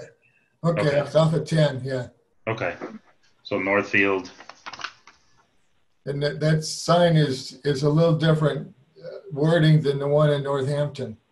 So, and, and I don't know if the MUTCD has suggested signs for that condition or not.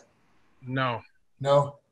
Okay, not, it's, that's not a, a, that's something that each, a town can take upon themselves. It's not something like that Mass DOT or the MUTCD has. yeah. At least okay. I don't believe so, Fred. Okay, But I also know, having traveled that road a lot, um, when you take a left on it, going into into Northfield, the that road prior to the left coming from 91 is very heavily monitored by um, police departments. I mean, it is there. There is significant police presence. So if you're speed, if you're traveling that road with any knowledge of that road at all, you're nuts yeah, if you're going to speed. It's sort of like speeding past the Deer, the South Deerfield Water District building. You're crazy. yeah. Um, folks, I, I have one other suggestion as far as uh, investigating the truck noise. Um, it's not something that I have much experience with um, truck noise, local road truck noise studies, but I do know um, that you may be able to get some insight from the Mass State Police Commercial Vehicle Enforcement Unit.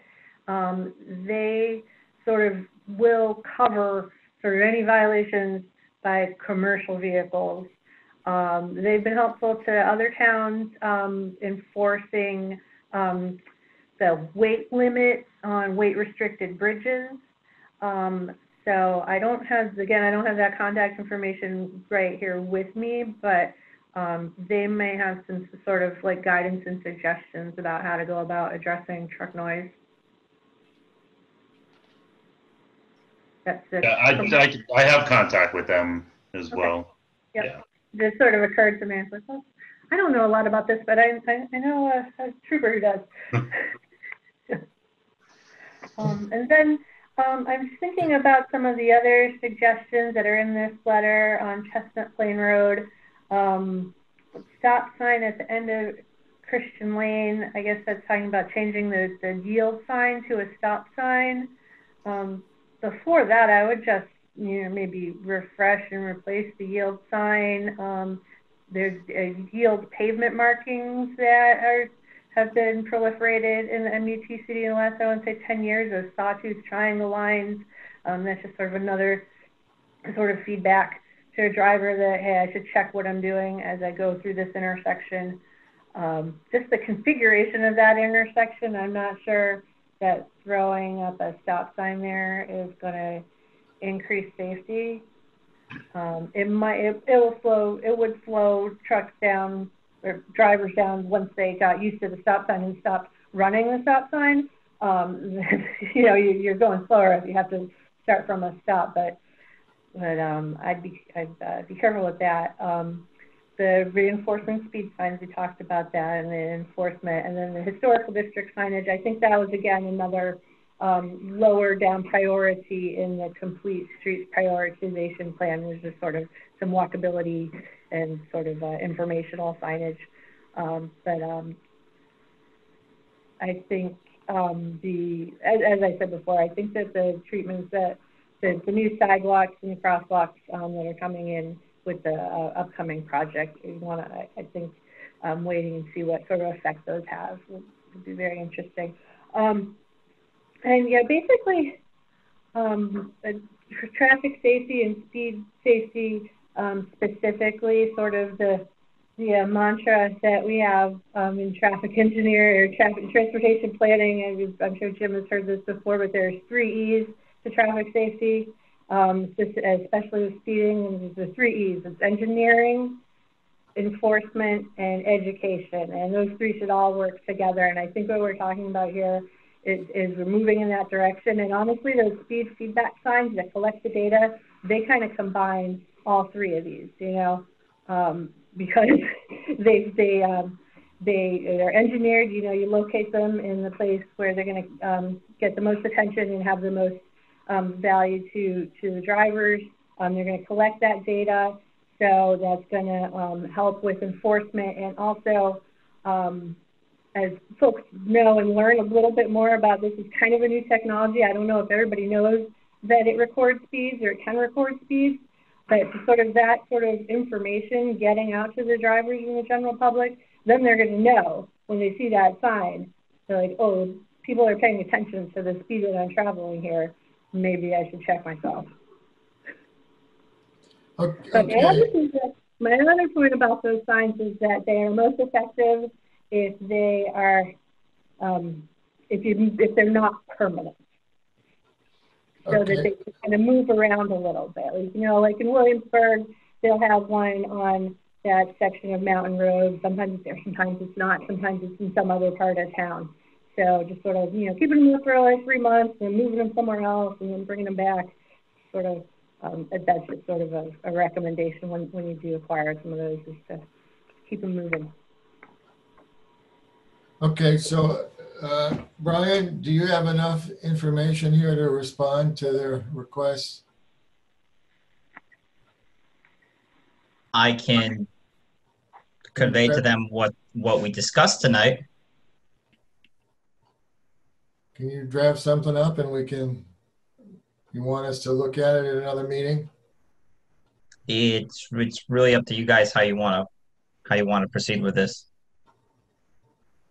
So just, if I could just add, so like I said, we're already in the process of implementing um, proactive solutions to this by looking at the times and getting enforcement out there, targeted traffic enforcement, which unfortunately we haven't we haven't been doing since the whole coronavirus thing. Um, we've we've been doing limited interactions with the motoring public, um, just for everybody's safety. Um, but we can certainly um, start working on on doing this. Um, the question I have is, so we have data now that shows what the speeds are. We go out and we do enforcement. What are we going to use as a judge to say that it's working? Are we going to be able to do the study again? I'm not sure as far as the council of hmm. governments if, if they'd be willing to come back out to provide the, the same equipment so we could do the study again and say two or three months after we've had time to do some enforcement out there. Sure how that would work. I, I, I guess you may know sooner if your enforcement is working by your, your presence out there and what, what you're seeing happening. Well, I can, I can guarantee it. I guarantee if I go out there right now, their, their, their cars aren't going to be going that fast. Right, I know that. They're that. doing it when we're not there, so that's Right. that's the Well, that's, I, I guess why you gotta try to focus on some hours and, and try Yeah. to figure out what's the, the best time to be there. Uh, they provided us with that. Yeah. yeah. Yeah. So, okay, Hey, Jim, what about the concept of parking the third, patrol car Right. Somewhere at different times.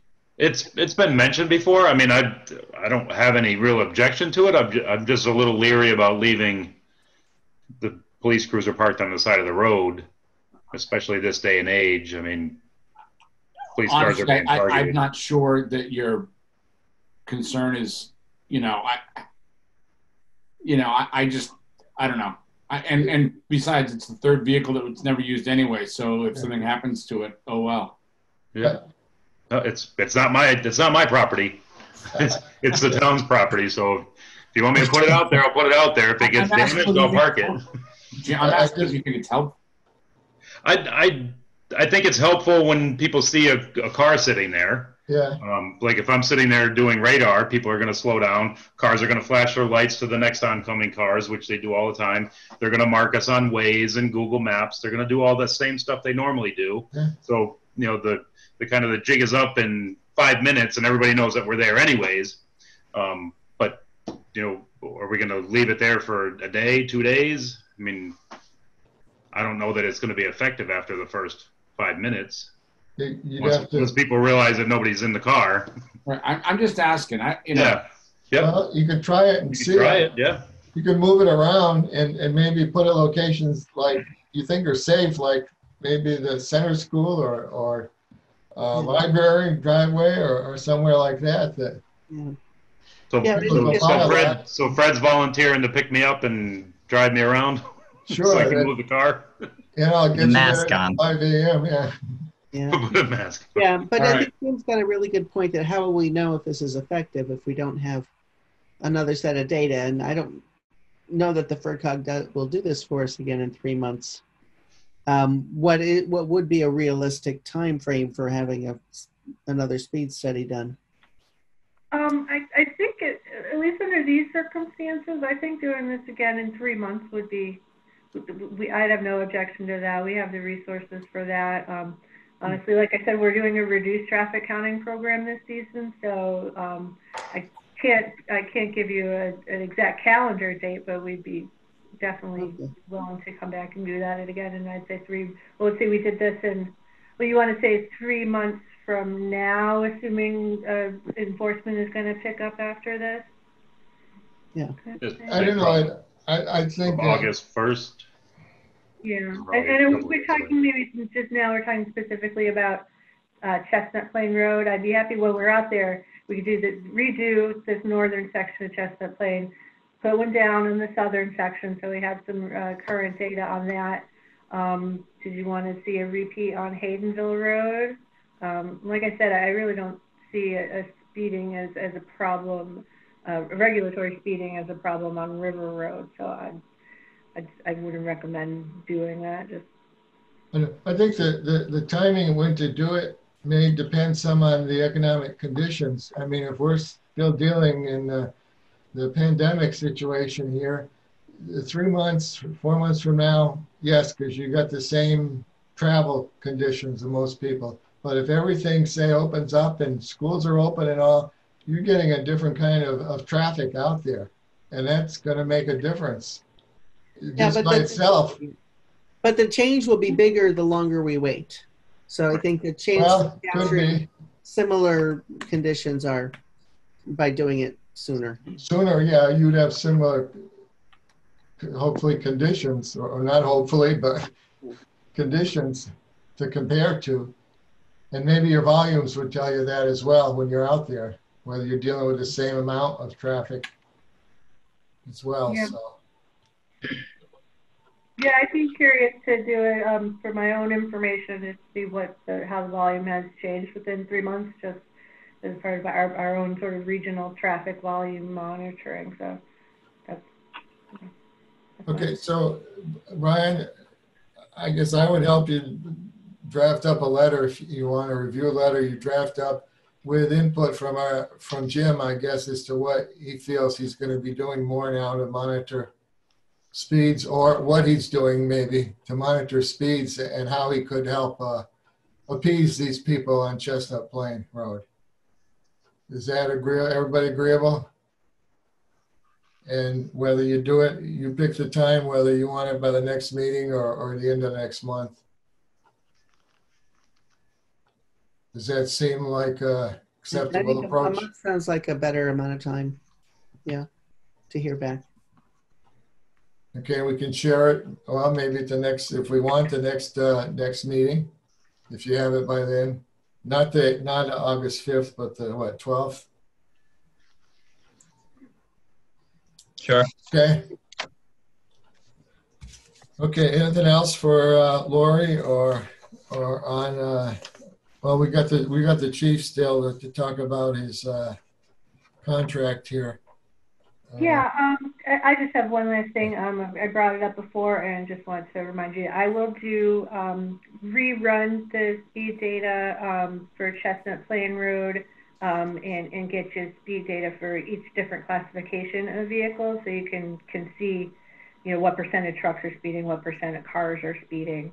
Um, would you want to see that for the other roadways as well? Maybe for Haydenville Road? I would think if it's not too much trouble.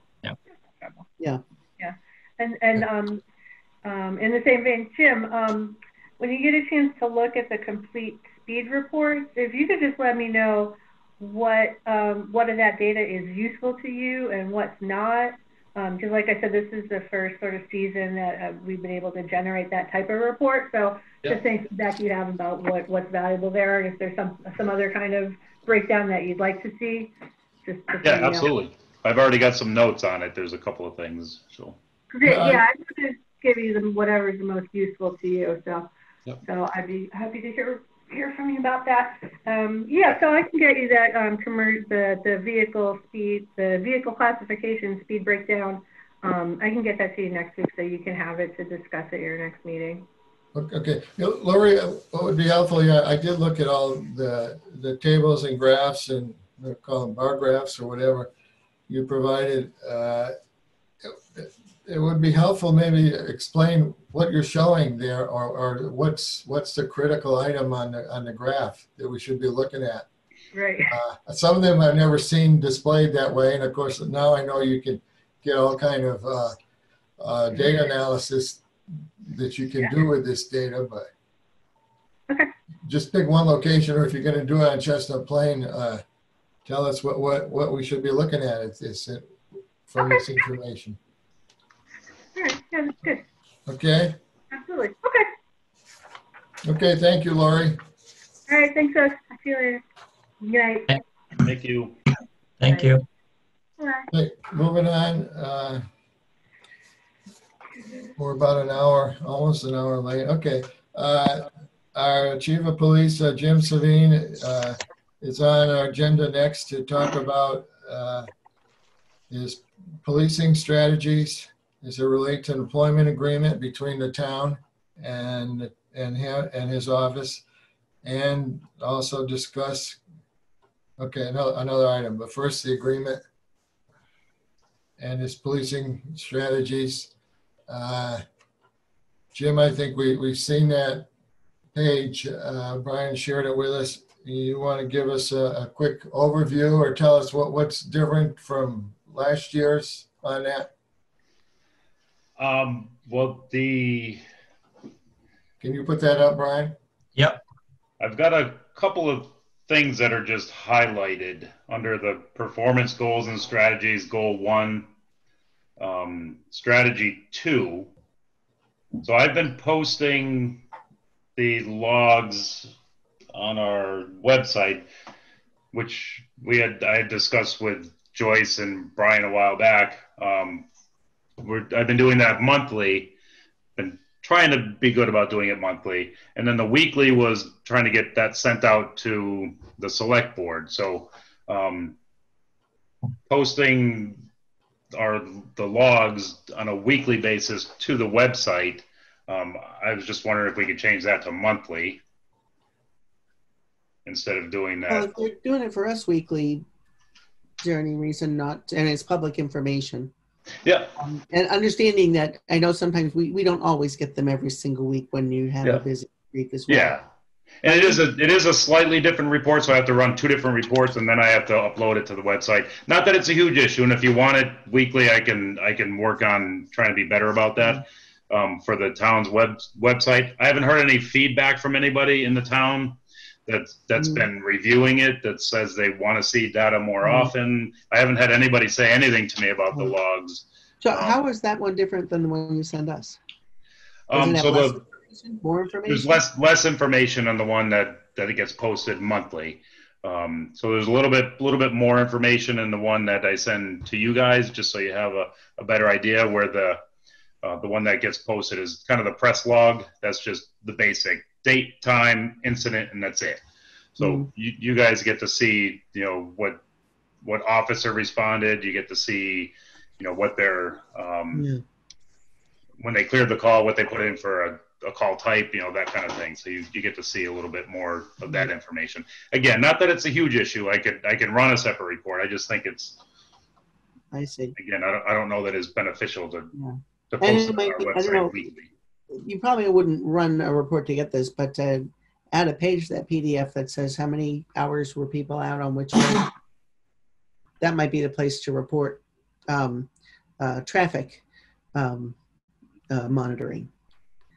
I Yeah, mean, that- that, it, it could be as simple as adding a page to that big PDF, which is pretty straightforward to do in.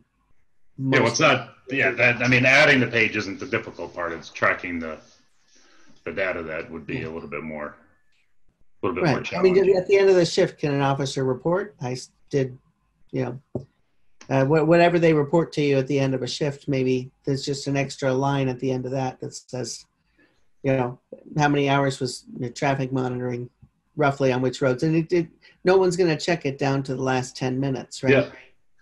But that, Yeah, but it's it's a it- be one way to collect the data as, Yeah. you know, as you go along. Rather So the, than the thing that they do now, what they do now is put it into the log. So I can request that they they document it more in their log when they're doing traffic enforcement. Um, the, especially the targeted stuff like that we're going to do up on Chestnut Plain Road. That's going to be a separate kind of separate program. So we can we can make sure that they document that so we have that data um, available. But there isn't a separate sheet that they give me that says they did this, this, and this. It's just whatever they put into the log um, as they're going through their their shift, what they put in for calls. So I, I guess, Jim, looking at this, I, I really have difficulty figuring out what am I looking at? I, I, I mean, I know, I know I can read what you're saying, but I, I don't, how would I use this? What, what are you expecting to, to hear from us that, that you're looking, at- you're doing traffic, what you're doing, is you expect us to, I guess, comment on the activities you're, you're doing or the, the number of activities or I, I, don't know what to make of this. to make it It's a lot of, it's a lot of, a lot of detail, uh, and, and a lot of As of. far as the logs go? You you do it for the, every day, every day of the week. And I can see stuff that's, uh, your operation, you know, some is, is repetitive and, and that's what you decided that you wanted your department people to do. And, and I guess I, I, feel like I'm not gonna micromanage you to tell you, hey, you shouldn't go every day to this location to look. Uh, it's a security check. That, that's, that's your decision, but Mhm. I, I, I don't know. It, it, it's maybe condensing it or, or something. I don't know. It's, it's a lot that I, I, I don't know what to do with it. Uh, that's just what was requested of me to, to provide to you guys. Yeah, as a reminder, we asked him to do this back when we were having uh, problems like what? There were how many drug arrests at the castaways? Or when when the whole you know, the when when the problems were coming up at the castaways and we didn't have the log information. We didn't have any way of knowing how much police activity um, and well and bad activity, frankly, was going on there under the previous owners. But, but So that at that time, information, we asked Jim if he would do this so that we would be better. Just it's a matter of us being better informed, and this particular report is one that he can relatively easily run for us. Um, and it there's when I read them, I have a million questions, but I don't generally uh, end up getting to Jim to ask him about all of them.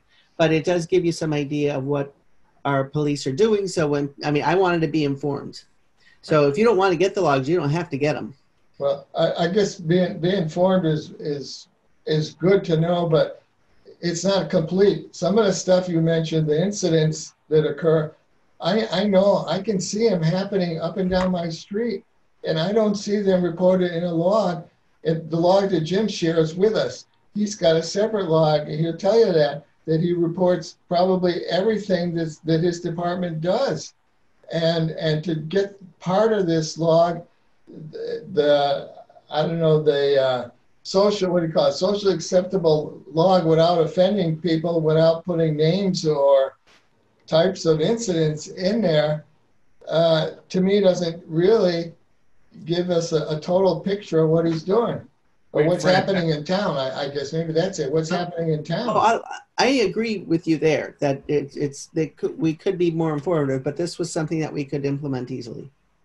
I, I, I actually think that it's gotten a lot better, and I and I enjoy being informed. And I can read the log if I want to read the log, and I can read the log at my leisure when I'm not when I'm not so busy that I can I can really digest it. Um, I'm not aware of what's not listed on those logs. Um, Fred, I, I guess I would ask you to give me an example of. I, I think you just said that you see stuff happening on your street that's not on the log. And so I'm, I'm wondering what type of incident that would be that's not reported in the log, but you see personally. Domestic assault. You see it personally? Yes. We can't report those, Fred. That's not public Yeah, information. see, I can't, I can't put that in a log. He agrees it's, it's happening, but you can't put in a log. That's what I'm saying. I- I'm not agreeing that it's happening. I'm saying with domestics, by state law, we can't put those in a daily log. That's not public, I can't release that information to the public. Right, so it's not complete. Well, but, Yeah, but, but it's, it's just- example. Well, everything else that I can legally put in there is in there, Fred. Uh, Right. I'm A- not a ex- withholding information. A, a good example of, of everything your department does i- is, probably in the annual town report, where you list every kind of incident or activity that you're, you've responded to. That's, that's actually less than what our log is. Well, okay, but, but that gives you the whole range of activities. Many of them are not in your weekly report. Well, if you don't like the log, Fred, you don't have to read it, right? Oh. But it's what we could do without taxing the uh, already very full plate that our police chief has. Um, It's- it's and a it would way- have things other than things that are not allowed by law. It Right. has those other incidents in there. But Is there a way of making it more useful or better or, or, I don't know, concise or? but, but what would the, but I, I guess I would, I would be looking for ideas from, from you as to what would make it, it better. I mean, he can't cite domestic violence, which is completely understandable.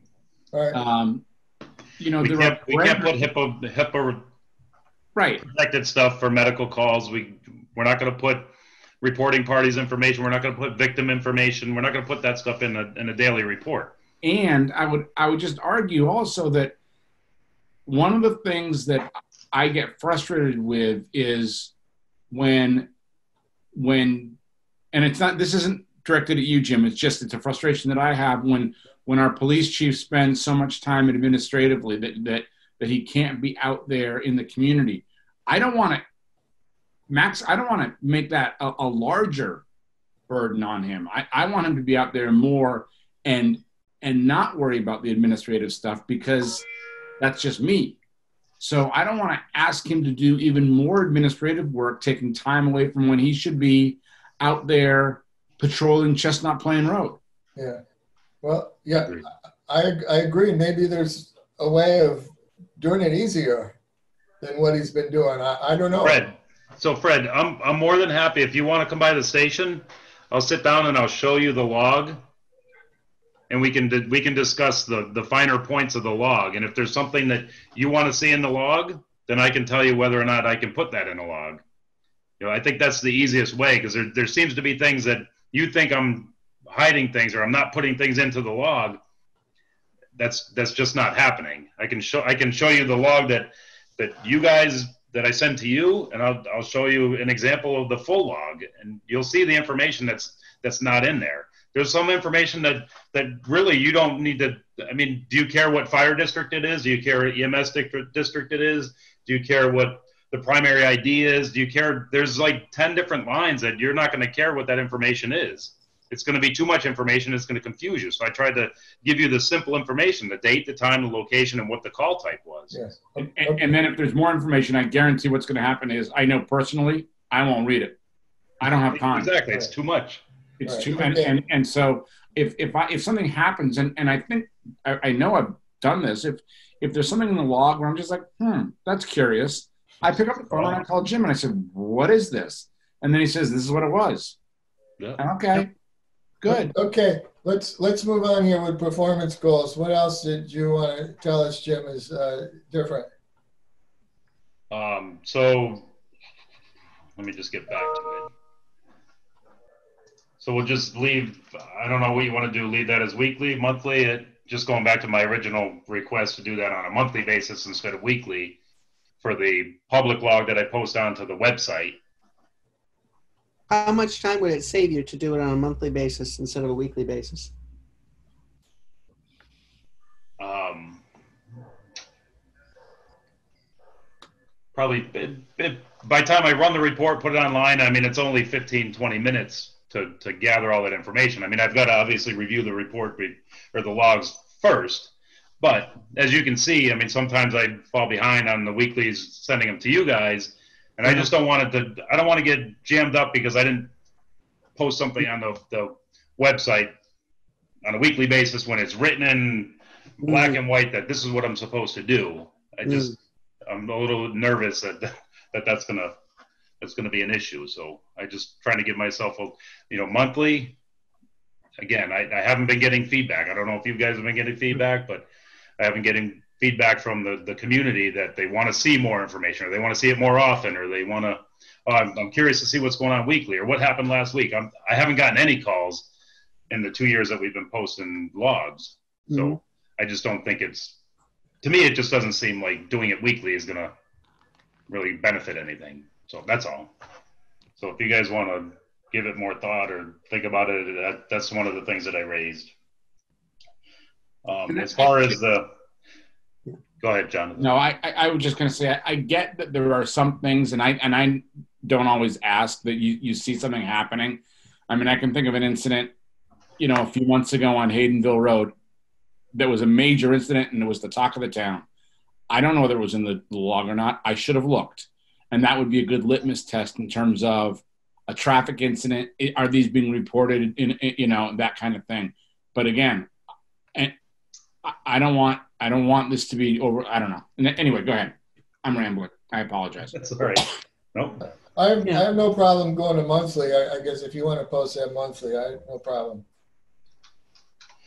And like I said, I, I've been doing it monthly, and I haven't had any any issues with it. That's why I was hoping to be able to change the, the wording of it. That was all. Um, if you wanted me to go back to weekly, I could. I mean, I think biweekly is not, monthly's a lot to read in, in one sitting. For Yeah. me, I it just, it, I've got a lot to do with other stuff and there's a lot to digest in a month and your eyes start to glaze Yeah. over. If it could be every two weeks, every three weeks, you know, or when you hit a certain number of incidents, then you press the go button. I don't know.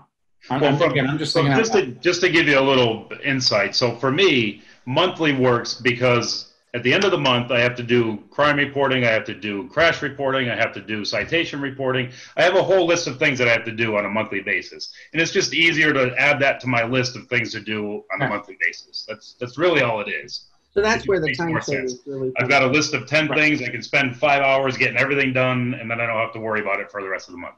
Okay. That's that's the Can- way I look at it. How about how about this? That's fine. How about if you happen to notice anecdotally that a lot of something's taken place recently, where it might make sense to have a mini report about X, Y, or Z mid-month, and use that and use your discretion at that. Does that make sense? For like for public notification, No, if, if, or you for know, you, for you guys? for us. Because I'm set, I'm still sending them weekly. I, and again, I there's been times where I I've missed a week and send them two weeks, or Right. I've gone out to three weeks. I apologize for that, but Um, I, and we- I'm and trying to send them to you guys weekly, Okay. Yeah. so you, so you have that Um, information. I mean, obviously, if it's something major, you know, I can I can reach out if if we had like the huge rash of B and E's or a murder or something something like that, which I've done. You know, the the last incident that we had on Right. River Road, I sent sent something out right away so you guys knew what was going on because you're going to get probably get calls about it. So Yeah. Okay, I, I guess I, I, you know, I understanding that it, it helps kind of unify your workflow to make it monthly. I guess I would not object to monthly either. And I'm thinking back to when you know we were talking with people in uh, one month, and there were like incidents that were four, five, and six months ago that I feel like we should have known about. Then monthly actually is not too bad um, that you know, uh, and if it's something more important, then I'd want to know sooner. but I guess if, if this will help kind of streamline what you have to do, then and make your time kind of better used, then I I think that's probably a good reason to go from weekly to monthly. okay, I appreciate it. Okay, let's uh, move on, Jim. And the only the only other two things that I had highlighted were under the goals. Well, one I wanted to just have a conversation about it, but two um, under goal number two, we've got strategy one and two. So those are the new community outreach events for residents, students, local businesses, new trainings, classes, workshops. Um, those are two different things that you want. You guys were looking to have one done per quarter. Um, so I guess uh, just discussion wise, I've had a little bit of a struggle because um, some of the things that I've that I've done, thinking of community wide programs, um, things that I could that I could do that we could plan ahead and set something up. um, I haven't gotten a huge response, like ride-alongs and and citizen police academies and different things that that we've tried to do as a bringing the, the community together and maybe come to the station and have a class where you get together every every week or every other week or something like that on a night. Um, so those things, I haven't been getting a lot of feedback from the town. I haven't getting a lot of interest from the town where they they feel that they want to do all these different programs. Um, so so the training things that that I do. Um, classes with the senior center. We do coffee with a cop and we get to have a q&a session. Those things to me are the kind of the, the nuts and bolts of the community policing. So to, to sit down and come up with four specific incidents and i know why why you guys wanted to do it so you'd have something to gauge you'd have something on paper we can look at what it's going to be and we can look at you know the results of that.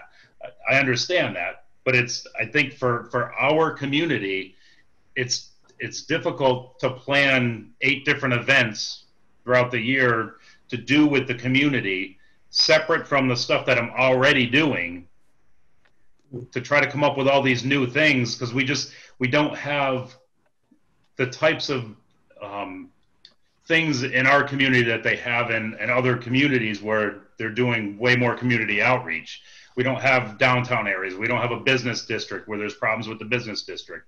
I mean, I can stop in and talk to the three or four business people. They they flag me down if they've got an issue. I I don't need to have a meeting with them once a quarter. I don't need to, you know, we don't we don't do those types of things. It's just not our it's just not our community. Um, I'm in the town all the time. I talk to people. I talk to businesses. We do all the business checks. I'm at the school all the time. If anything's coming up, it's already being dealt with at the time. I don't, I can't, I'm having a hard time thinking of a lot of things that we can do that, that aren't already being done on a, on a regular basis, just not as formally. So I guess that's where my, my struggle is coming up with a, an itemized plan, a sheet, a list. Here's the things I want to do. Here's the program. Those things that I have come up with in the past, they just, they haven't panned out because there hasn't been the interest from the, the public to do it.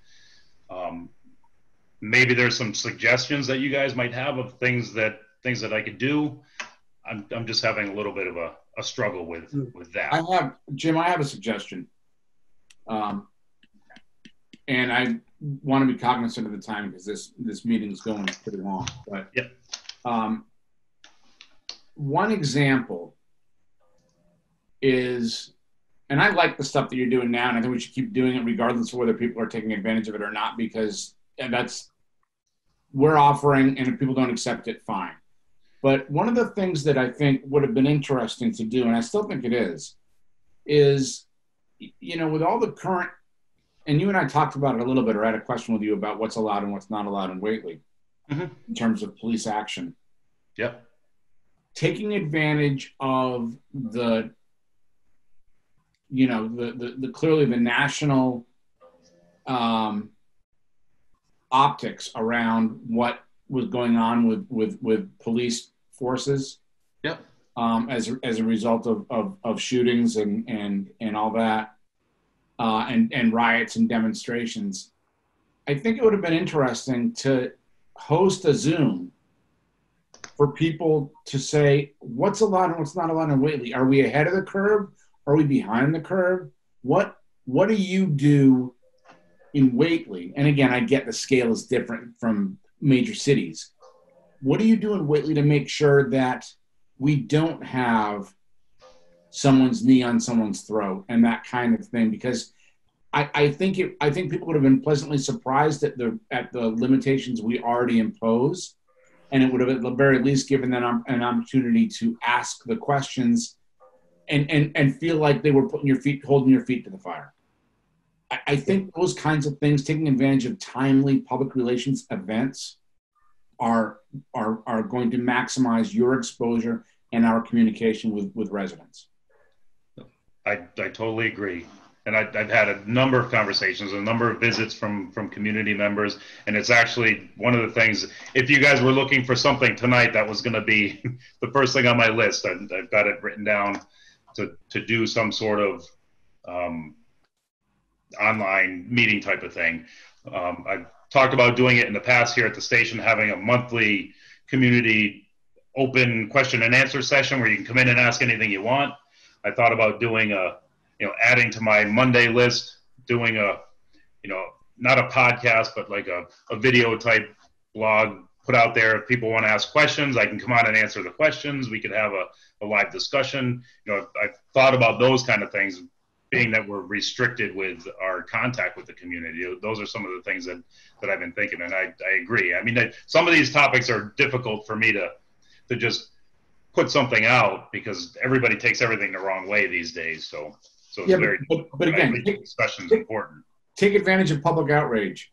I, I guarantee you, would have had 25 people at, the, at a minimum in a Zoom meeting about what Whately uh, policies are around um, police actions during whatever incident. I have no doubt that that's about how many people I've talked to about it so far, And- and and showed our showed our use of force policy too. Right. Take advantage of the public outrage and hold it. I would still do it personally. I I would schedule it tomorrow. Personally. Okay. Because it's still out there. More than 24 hours notice. Well, no, I mean, yeah. I mean, Schedule it. schedule it tomorrow for a future date. Yeah. Um, yeah, I guess the, the, the, the other, I, I think thinking of new things to do is, is a good idea. I mean, what I was hearing you say is I've got all these built-in ways that I'm out there in the community, and I think that's that's certainly true for those poor sections of the community. You said that like the, the businesses and so on, but I think um, the I, idea of you know, new outreach ideas are is good, and you can do things that are timely. I really thought the one about um, uh, identity theft um, and not getting caught up in scams. I thought that was a really that's one that can be rerun, Yeah. and I'd still count it as one of your four um, uh, per year. I mean, at the Yeah. time that this was written, I think that was, this was all new. Yeah, and I was reading it as four new things. Right. So it's like like that would mean like every year you get four more things, right? Mhm. Um, but I, I, I would, um, I, I guess I don't know how to change the wording for that, and I wish we'd talked about this two weeks ago. Um, but maybe it just needs to be for community outreach events that are not just in the line of your typical workday, you know? Because we, we, do have a community policing focus in your everyday work, and I want to recognize that. Um, but I think John's suggestion is a great timely topic, and that's one that can be revisited as well. Because um, uh, maybe uh, you're going to be getting police cameras. I don't know if those have arrived yet. Maybe um, that, you know, yay. Here it is. We've been Uh, using it for two weeks now. Oh, okay. And and then you know maybe that would be something to hear back about. Yeah, uh, that people might be interested in. So Um, the sec, the second thing on my list was police reform, because that's the hot topic that's got to be settled by the end of Ju- July. We're going to see where we're at with things, and that was going to be a, a the second topic of discussion if we did some sort of meeting like that to give people an opportunity to. You know, and honestly, I, I think Whately? If it's a Zoom meeting, it's so much easier for me to go to a Zoom meeting than to actually drive to the station at what I, I, there's my schedule opens up so much if it's a Zoom meeting. Yeah. Um, so you might actually be surprised and get more um, more people Yeah. uh, especially if uh, if it gets kind of advertised, uh, maybe even with the Connect CTY call. Um, Yeah. You know, Yeah, I absolutely think it's a good idea. So you know, I, I- I guess I'm. I'm Well, that's that's two. That's two that I've got. We can we can plan those out because I still want to do the the police reform thing because I'm getting a lot of questions on that Oh yeah, from from people. How's how's this going to affect Whately? How's this going to affect our police department? If if it There's changes to, if it changes the the post program that they're talking about, then you know we, we may be in a situation where we're going to be losing part time officers and we're going to have to, to hire more full time officers if we want the same coverage that we have. So it's a bigger it's a bigger discussion for sure. So, Jim, Jim, one thing I've, I've been getting some comments on, and I, I don't know if you address this or how you handle it. Some people are telling me that they go to get something from your department or to talk to you and you're not there. And I realize, and I tell him, well, he's not there. He's doing traffic monitoring or he's in court or, or doing something yeah. is, is there something when, when people come to your to into your office to either log in or, or, or leave a message or, or do something that that you can get back to them to, to know they were there and you can get back to them because it's not a matter of, of going home and putting on Facebook. Some of these people don't have that. Or, Yeah. or they're driving by and they say, well, I want to talk to police or I saw this incident. I want to mention it to police. Yeah. How are you, how are you dealing with that? So I have I have all of our numbers posted on the door for dispatch, our station number. Um, we we haven't been doing the normal office hours because of the town restrictions on uh, public buildings. So we haven't been allowing people inside the police station. Um, but we we do have I put notices out on Facebook, but I put the same notice um, on our front door, but the building being closed that includes the numbers of, of every every way to to get a hold of us aside from my personal cell phone, which I don't give out to too many people. So So they, they can't open the outside door and, and correct. go into there. So there's no way for them to leave a message or anything, other than call you, I guess. Correct. Or they could they could stick a note in the door if they wanted to, but calling us is the best way. And I, I always tell people that call our dispatch center because you can get you can get us they can call us on the radio and I can meet you back at the station. You don't have to leave a message. I can just meet you there. So that's the that's the best way to, to get a hold of us. We we have people constantly firearms permits, dropping off drugs, making appointments to for us to, to meet them here to, to do whatever business we need to do. We're still conducting business. It's just Yeah, kind of a modified modified way of doing it. But yeah, all the all the contact information is posted. okay. Email addresses, Yeah. telephone numbers, everything. Quick, the, the drug drop-off thing, so that's not allowed anymore. It is. Yep, just by appointment only. Oh, so you, okay. you if you have stuff, you call us and we'll we'll meet you here and we'll take it from you and we'll dispose of it for you. Okay, Yep. And then firearms permits we've been doing by mail. People s- mail in their applications. Um, we process the applications and then we contact them if we need to. That's all been that's all posted on the door as well. okay, so what are we doing here with these performance goals? Are we, uh, agreeing with these or change them or what? I think I agree with them overall. The the one thing that um, I know we're we're not necessarily good at, and as the police liaison, it really falls on me to some extent, um, is we haven't really I had Jim come by once a quarter to say what's the activity, what's the thing you did, and how, or what's the thing that's about to happen, and so on. And I, when um, you know, roughly three years ago, when I got back on the board, I remember that being something that happened. That one of uh, one of the early meetings, um, we, I know we we have Jim in often enough, um, but I, I guess to kind of uh, get some get us in the loop of feedback and then you know get it on FCAT so more people even know about it. Um, I, I, I guess I don't see it as part of this performance goals and strategies, but I'm wondering if there can be something um, like just a quarterly report to the selectmen, which doesn't have to even be written. It can be uh, just showing up at a meeting and saying how the uh, um, you know the police procedures meeting went. Um, the one where we talk about how why we're not going to have somebody suing us over having a police officer with their knee on the back of somebody's neck. Well, they will be suing soon. Everybody's going to be suing for everything. Right, but we won't have that particular thing Yeah. being. Yeah. No, I hear you. Yeah. Um, so and and I I think um, yeah I, I I guess reporting to us is the thing that I don't see in here that I thought was in here last time. And but I, I must be wrong. I must have been thinking of some something else. Uh, well, I think it talked about approved in advance by the Whately Select Board.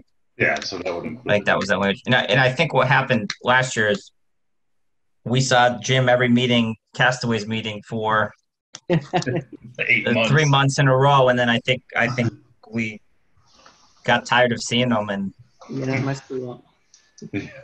So I, I'd like to propose that we approve this as is, um, but we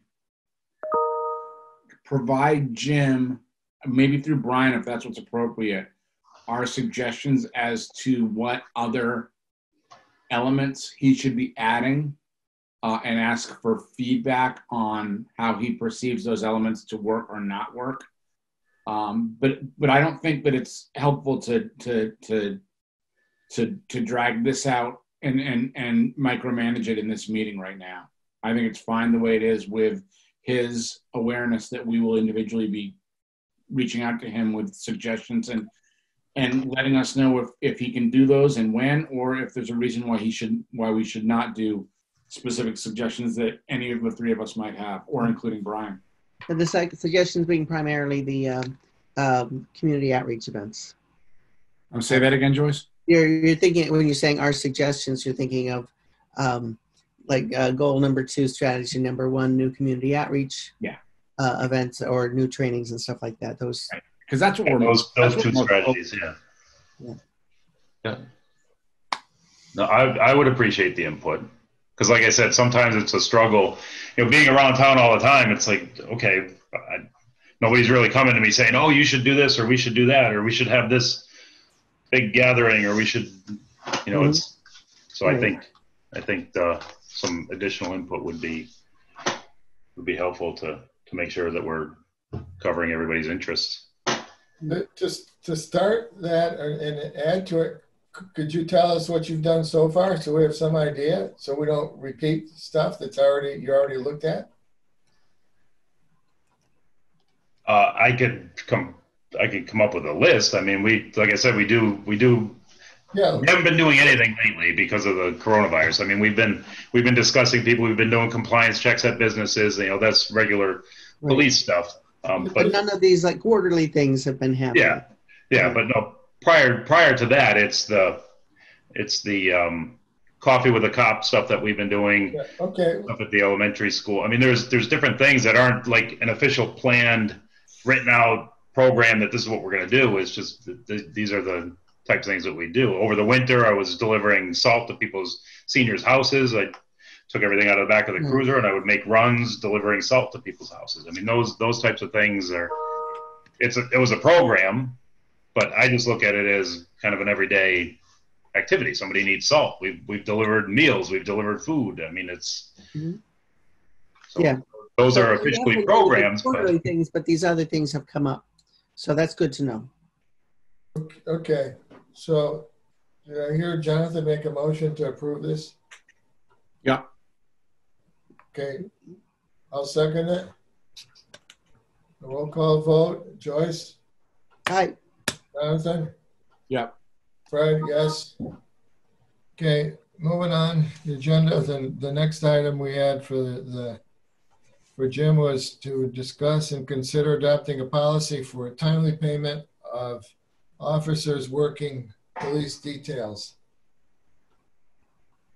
yes. And So let me, if I could just provide sort of a, a quick summary. Right now, officers are paid. Um, there's really two sections of the law. One says detail officers can be paid after the town receives payment from the vendor, which is which is the which is the current practice of the town. Um, there's also another law that says all town employees have to be paid uh, within a certain amount of time after they work. Um, so the proposal from Jim, which the board discussed this past winter, which seems like forever ago, um, is to change is to change that policy. And I think, if I recall correctly, I think the board was in agreement, but um, we we had talked about seeding the account, and I think we sort of lost a discussion after that, seeding the revolving account. Um, so the, the request now is that is that officer and it's the same request that officers would be paid at the next during the next pay period um, if the board is okay with that i think the next step and i've had started a conversation with our, our town accountant and, and treasurer collector uh, lynn and, and dara um, we would put together a, a i think a pretty brief uh, and short policy that would reflect um, those changes because I think we need to document the process because now we're laying money out front instead of, you know, paying money that we're getting in. Um, so I guess we're kind of looking for the go ahead to do that. If if it's a if it's not going to happen, we don't want to we don't want to spend our time doing that. Um, so I guess we're looking for for the board's opinion on that. Can It's not going to impact our, our cash flow or budget, is it? No, No, the only the only the only thing we need to be careful of is that if the revolving account was was negative at the end of a fiscal year, um, then it would be offset by free cash that we would That would later be only because of timing, correct? right that we would later recoup that. Okay, I had, I had two questions. I think maybe I discussed in the last meeting that I thought we would give to the, to Jim was, one is, uh, let me think, uh, do, do out of, out of town police officers report to you for, for a temporary, uh, for policing like this? If you can't get any, any, uh, part-timers, do you go to surrounding towns? Yes. And so, so this would, this would mean we would, No. we would pay the surrounding, They they fall under my supervision while they're in our town because they're here on mutual aid. They're so if they're doing something wrong, then I would deal with it. Um, but their town is responsible for doing the billing for the detail. So however their town um, handles it, we we're not responsible for submitting the, the, the detail bill or paying the officer. It's done through their um, their appointing town.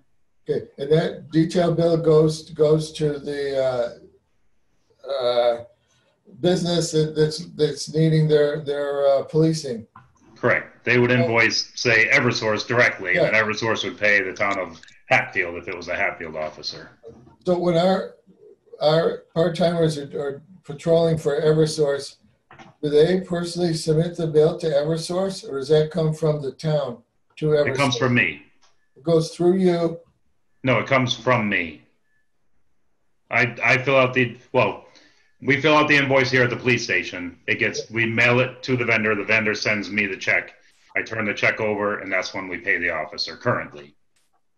Okay, so the vendor is never gonna know how soon the officer is paid from the town. No, they, that has no bearing on them. They can care Yeah, less. Okay, Is the vendor, are, are vendors pretty quick about the turnaround, Jim? That's the problem, no. Right. Sometimes it's three months, sometimes it's four months. It, we've, we've got, I've got a list of the, the current outstanding bills. I think the oldest one we have, um, so we've got from, there's four from 2019 that are, that are outstanding. And then there was the two original ones that were in the letter that the business went under. We never, we never got paid. I think it was maybe six, six hundred dollars for, six hundred dollars worth of details. Since I started taking over the details back in 2003, since I took over as chief, um, we've only had um, the two that haven't been paid. Other than that, we we always end up collecting. It's just a matter of when. And we we've tried adding a 10% administrative charge. We've tried adding a $10 late fee. They they'll send it in three four months, but then they won't pay the late fee. They're they're not going to pay the late fee Yeah. Well, can we take them to small claims court for the ten dollars. for the threat of small claims court? Well, what, what would you be? I mean, you're trying to recover the ten dollar late fee. And the, and, and, and charging interest on, on, on 30 days post, post original invoice, that kind of thing. I mean, Time and energy of the people who have to do all of that stuff. I, I understand that. I'm just trying to, as I, as I, as I understand this, it, it does impact, you know, th- this is cash out for Whately and eventually we get it back, but it's cash out for Whately out of our, out of our, out of, out of our general operating budget for an indefinite period of time.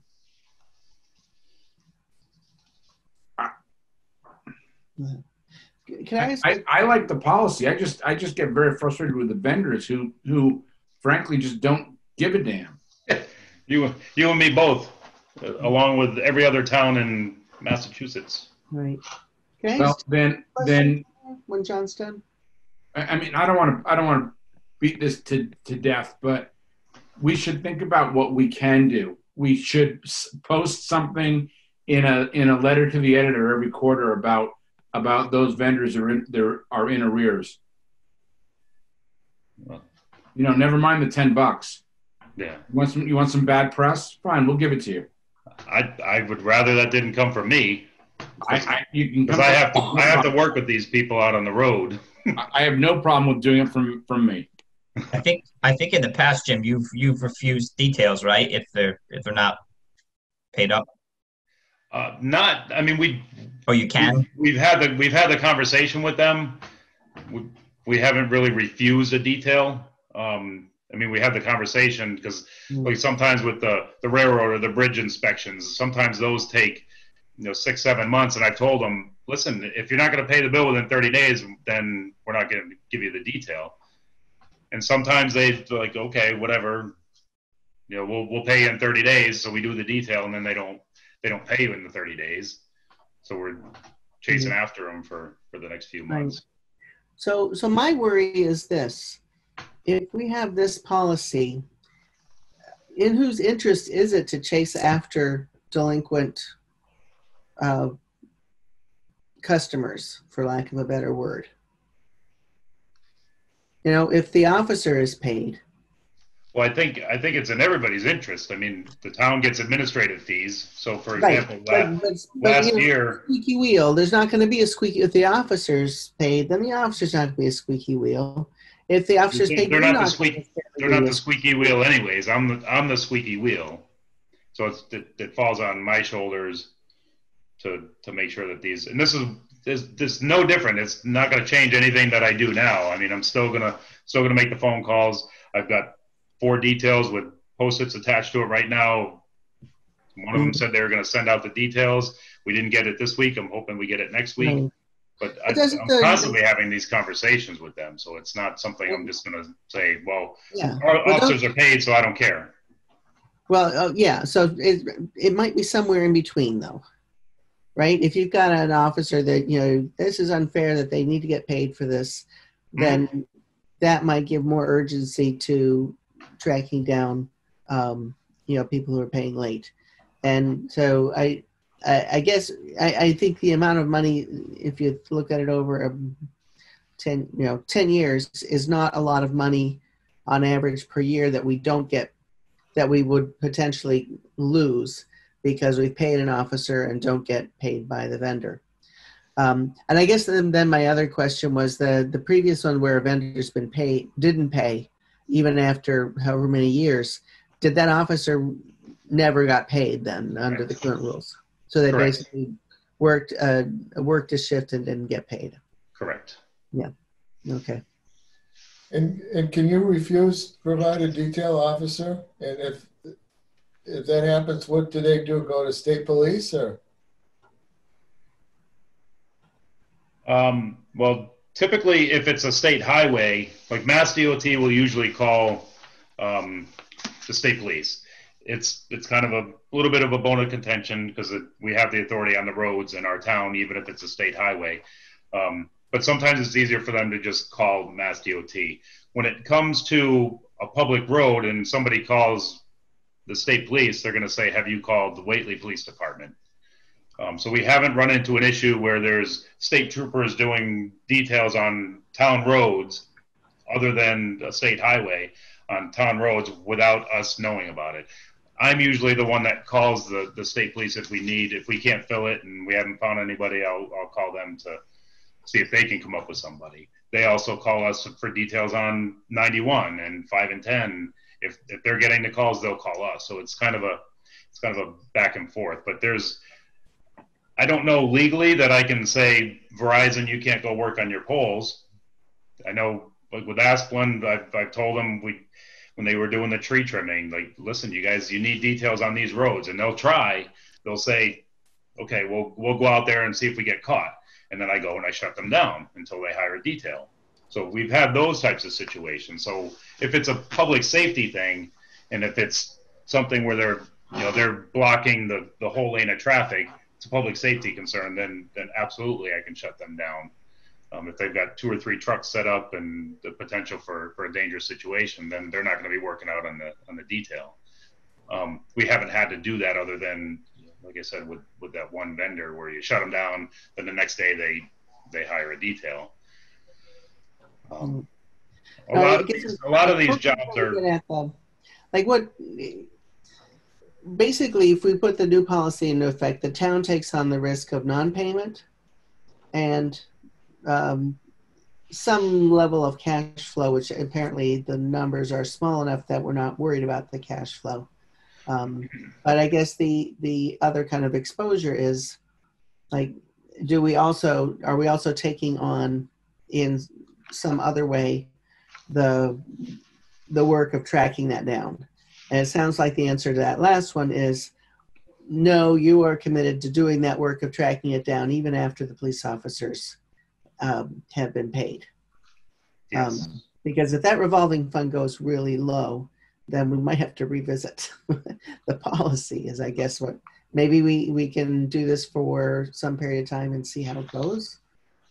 Um, it seems like a minimal risk would be taking on unless there's something I hear that I haven't heard very well. Does that is that what you're hearing, Fred?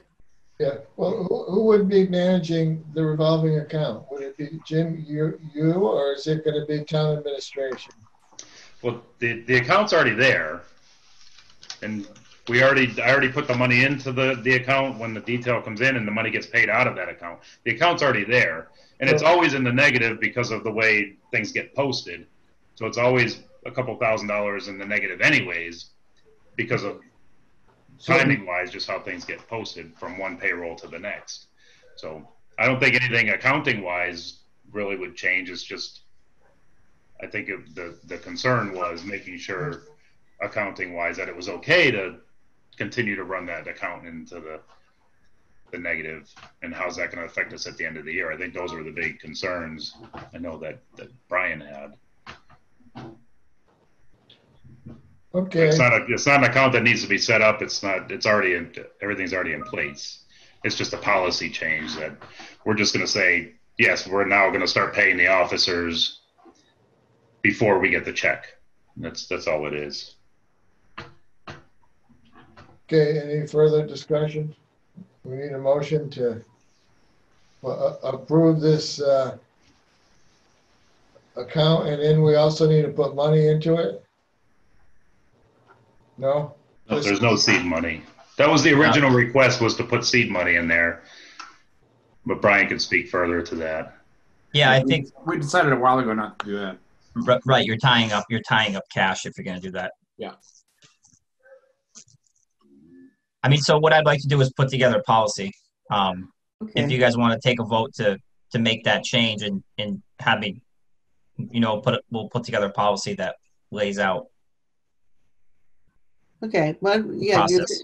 can we, you said, just direct you to go ahead and do, yeah, do the policy. Do we ta- take the vote now or do we do it after the policy? Um, I mean, I, you would have to vote to adopt the policy, Mm-hmm. which so it will be at a future meeting.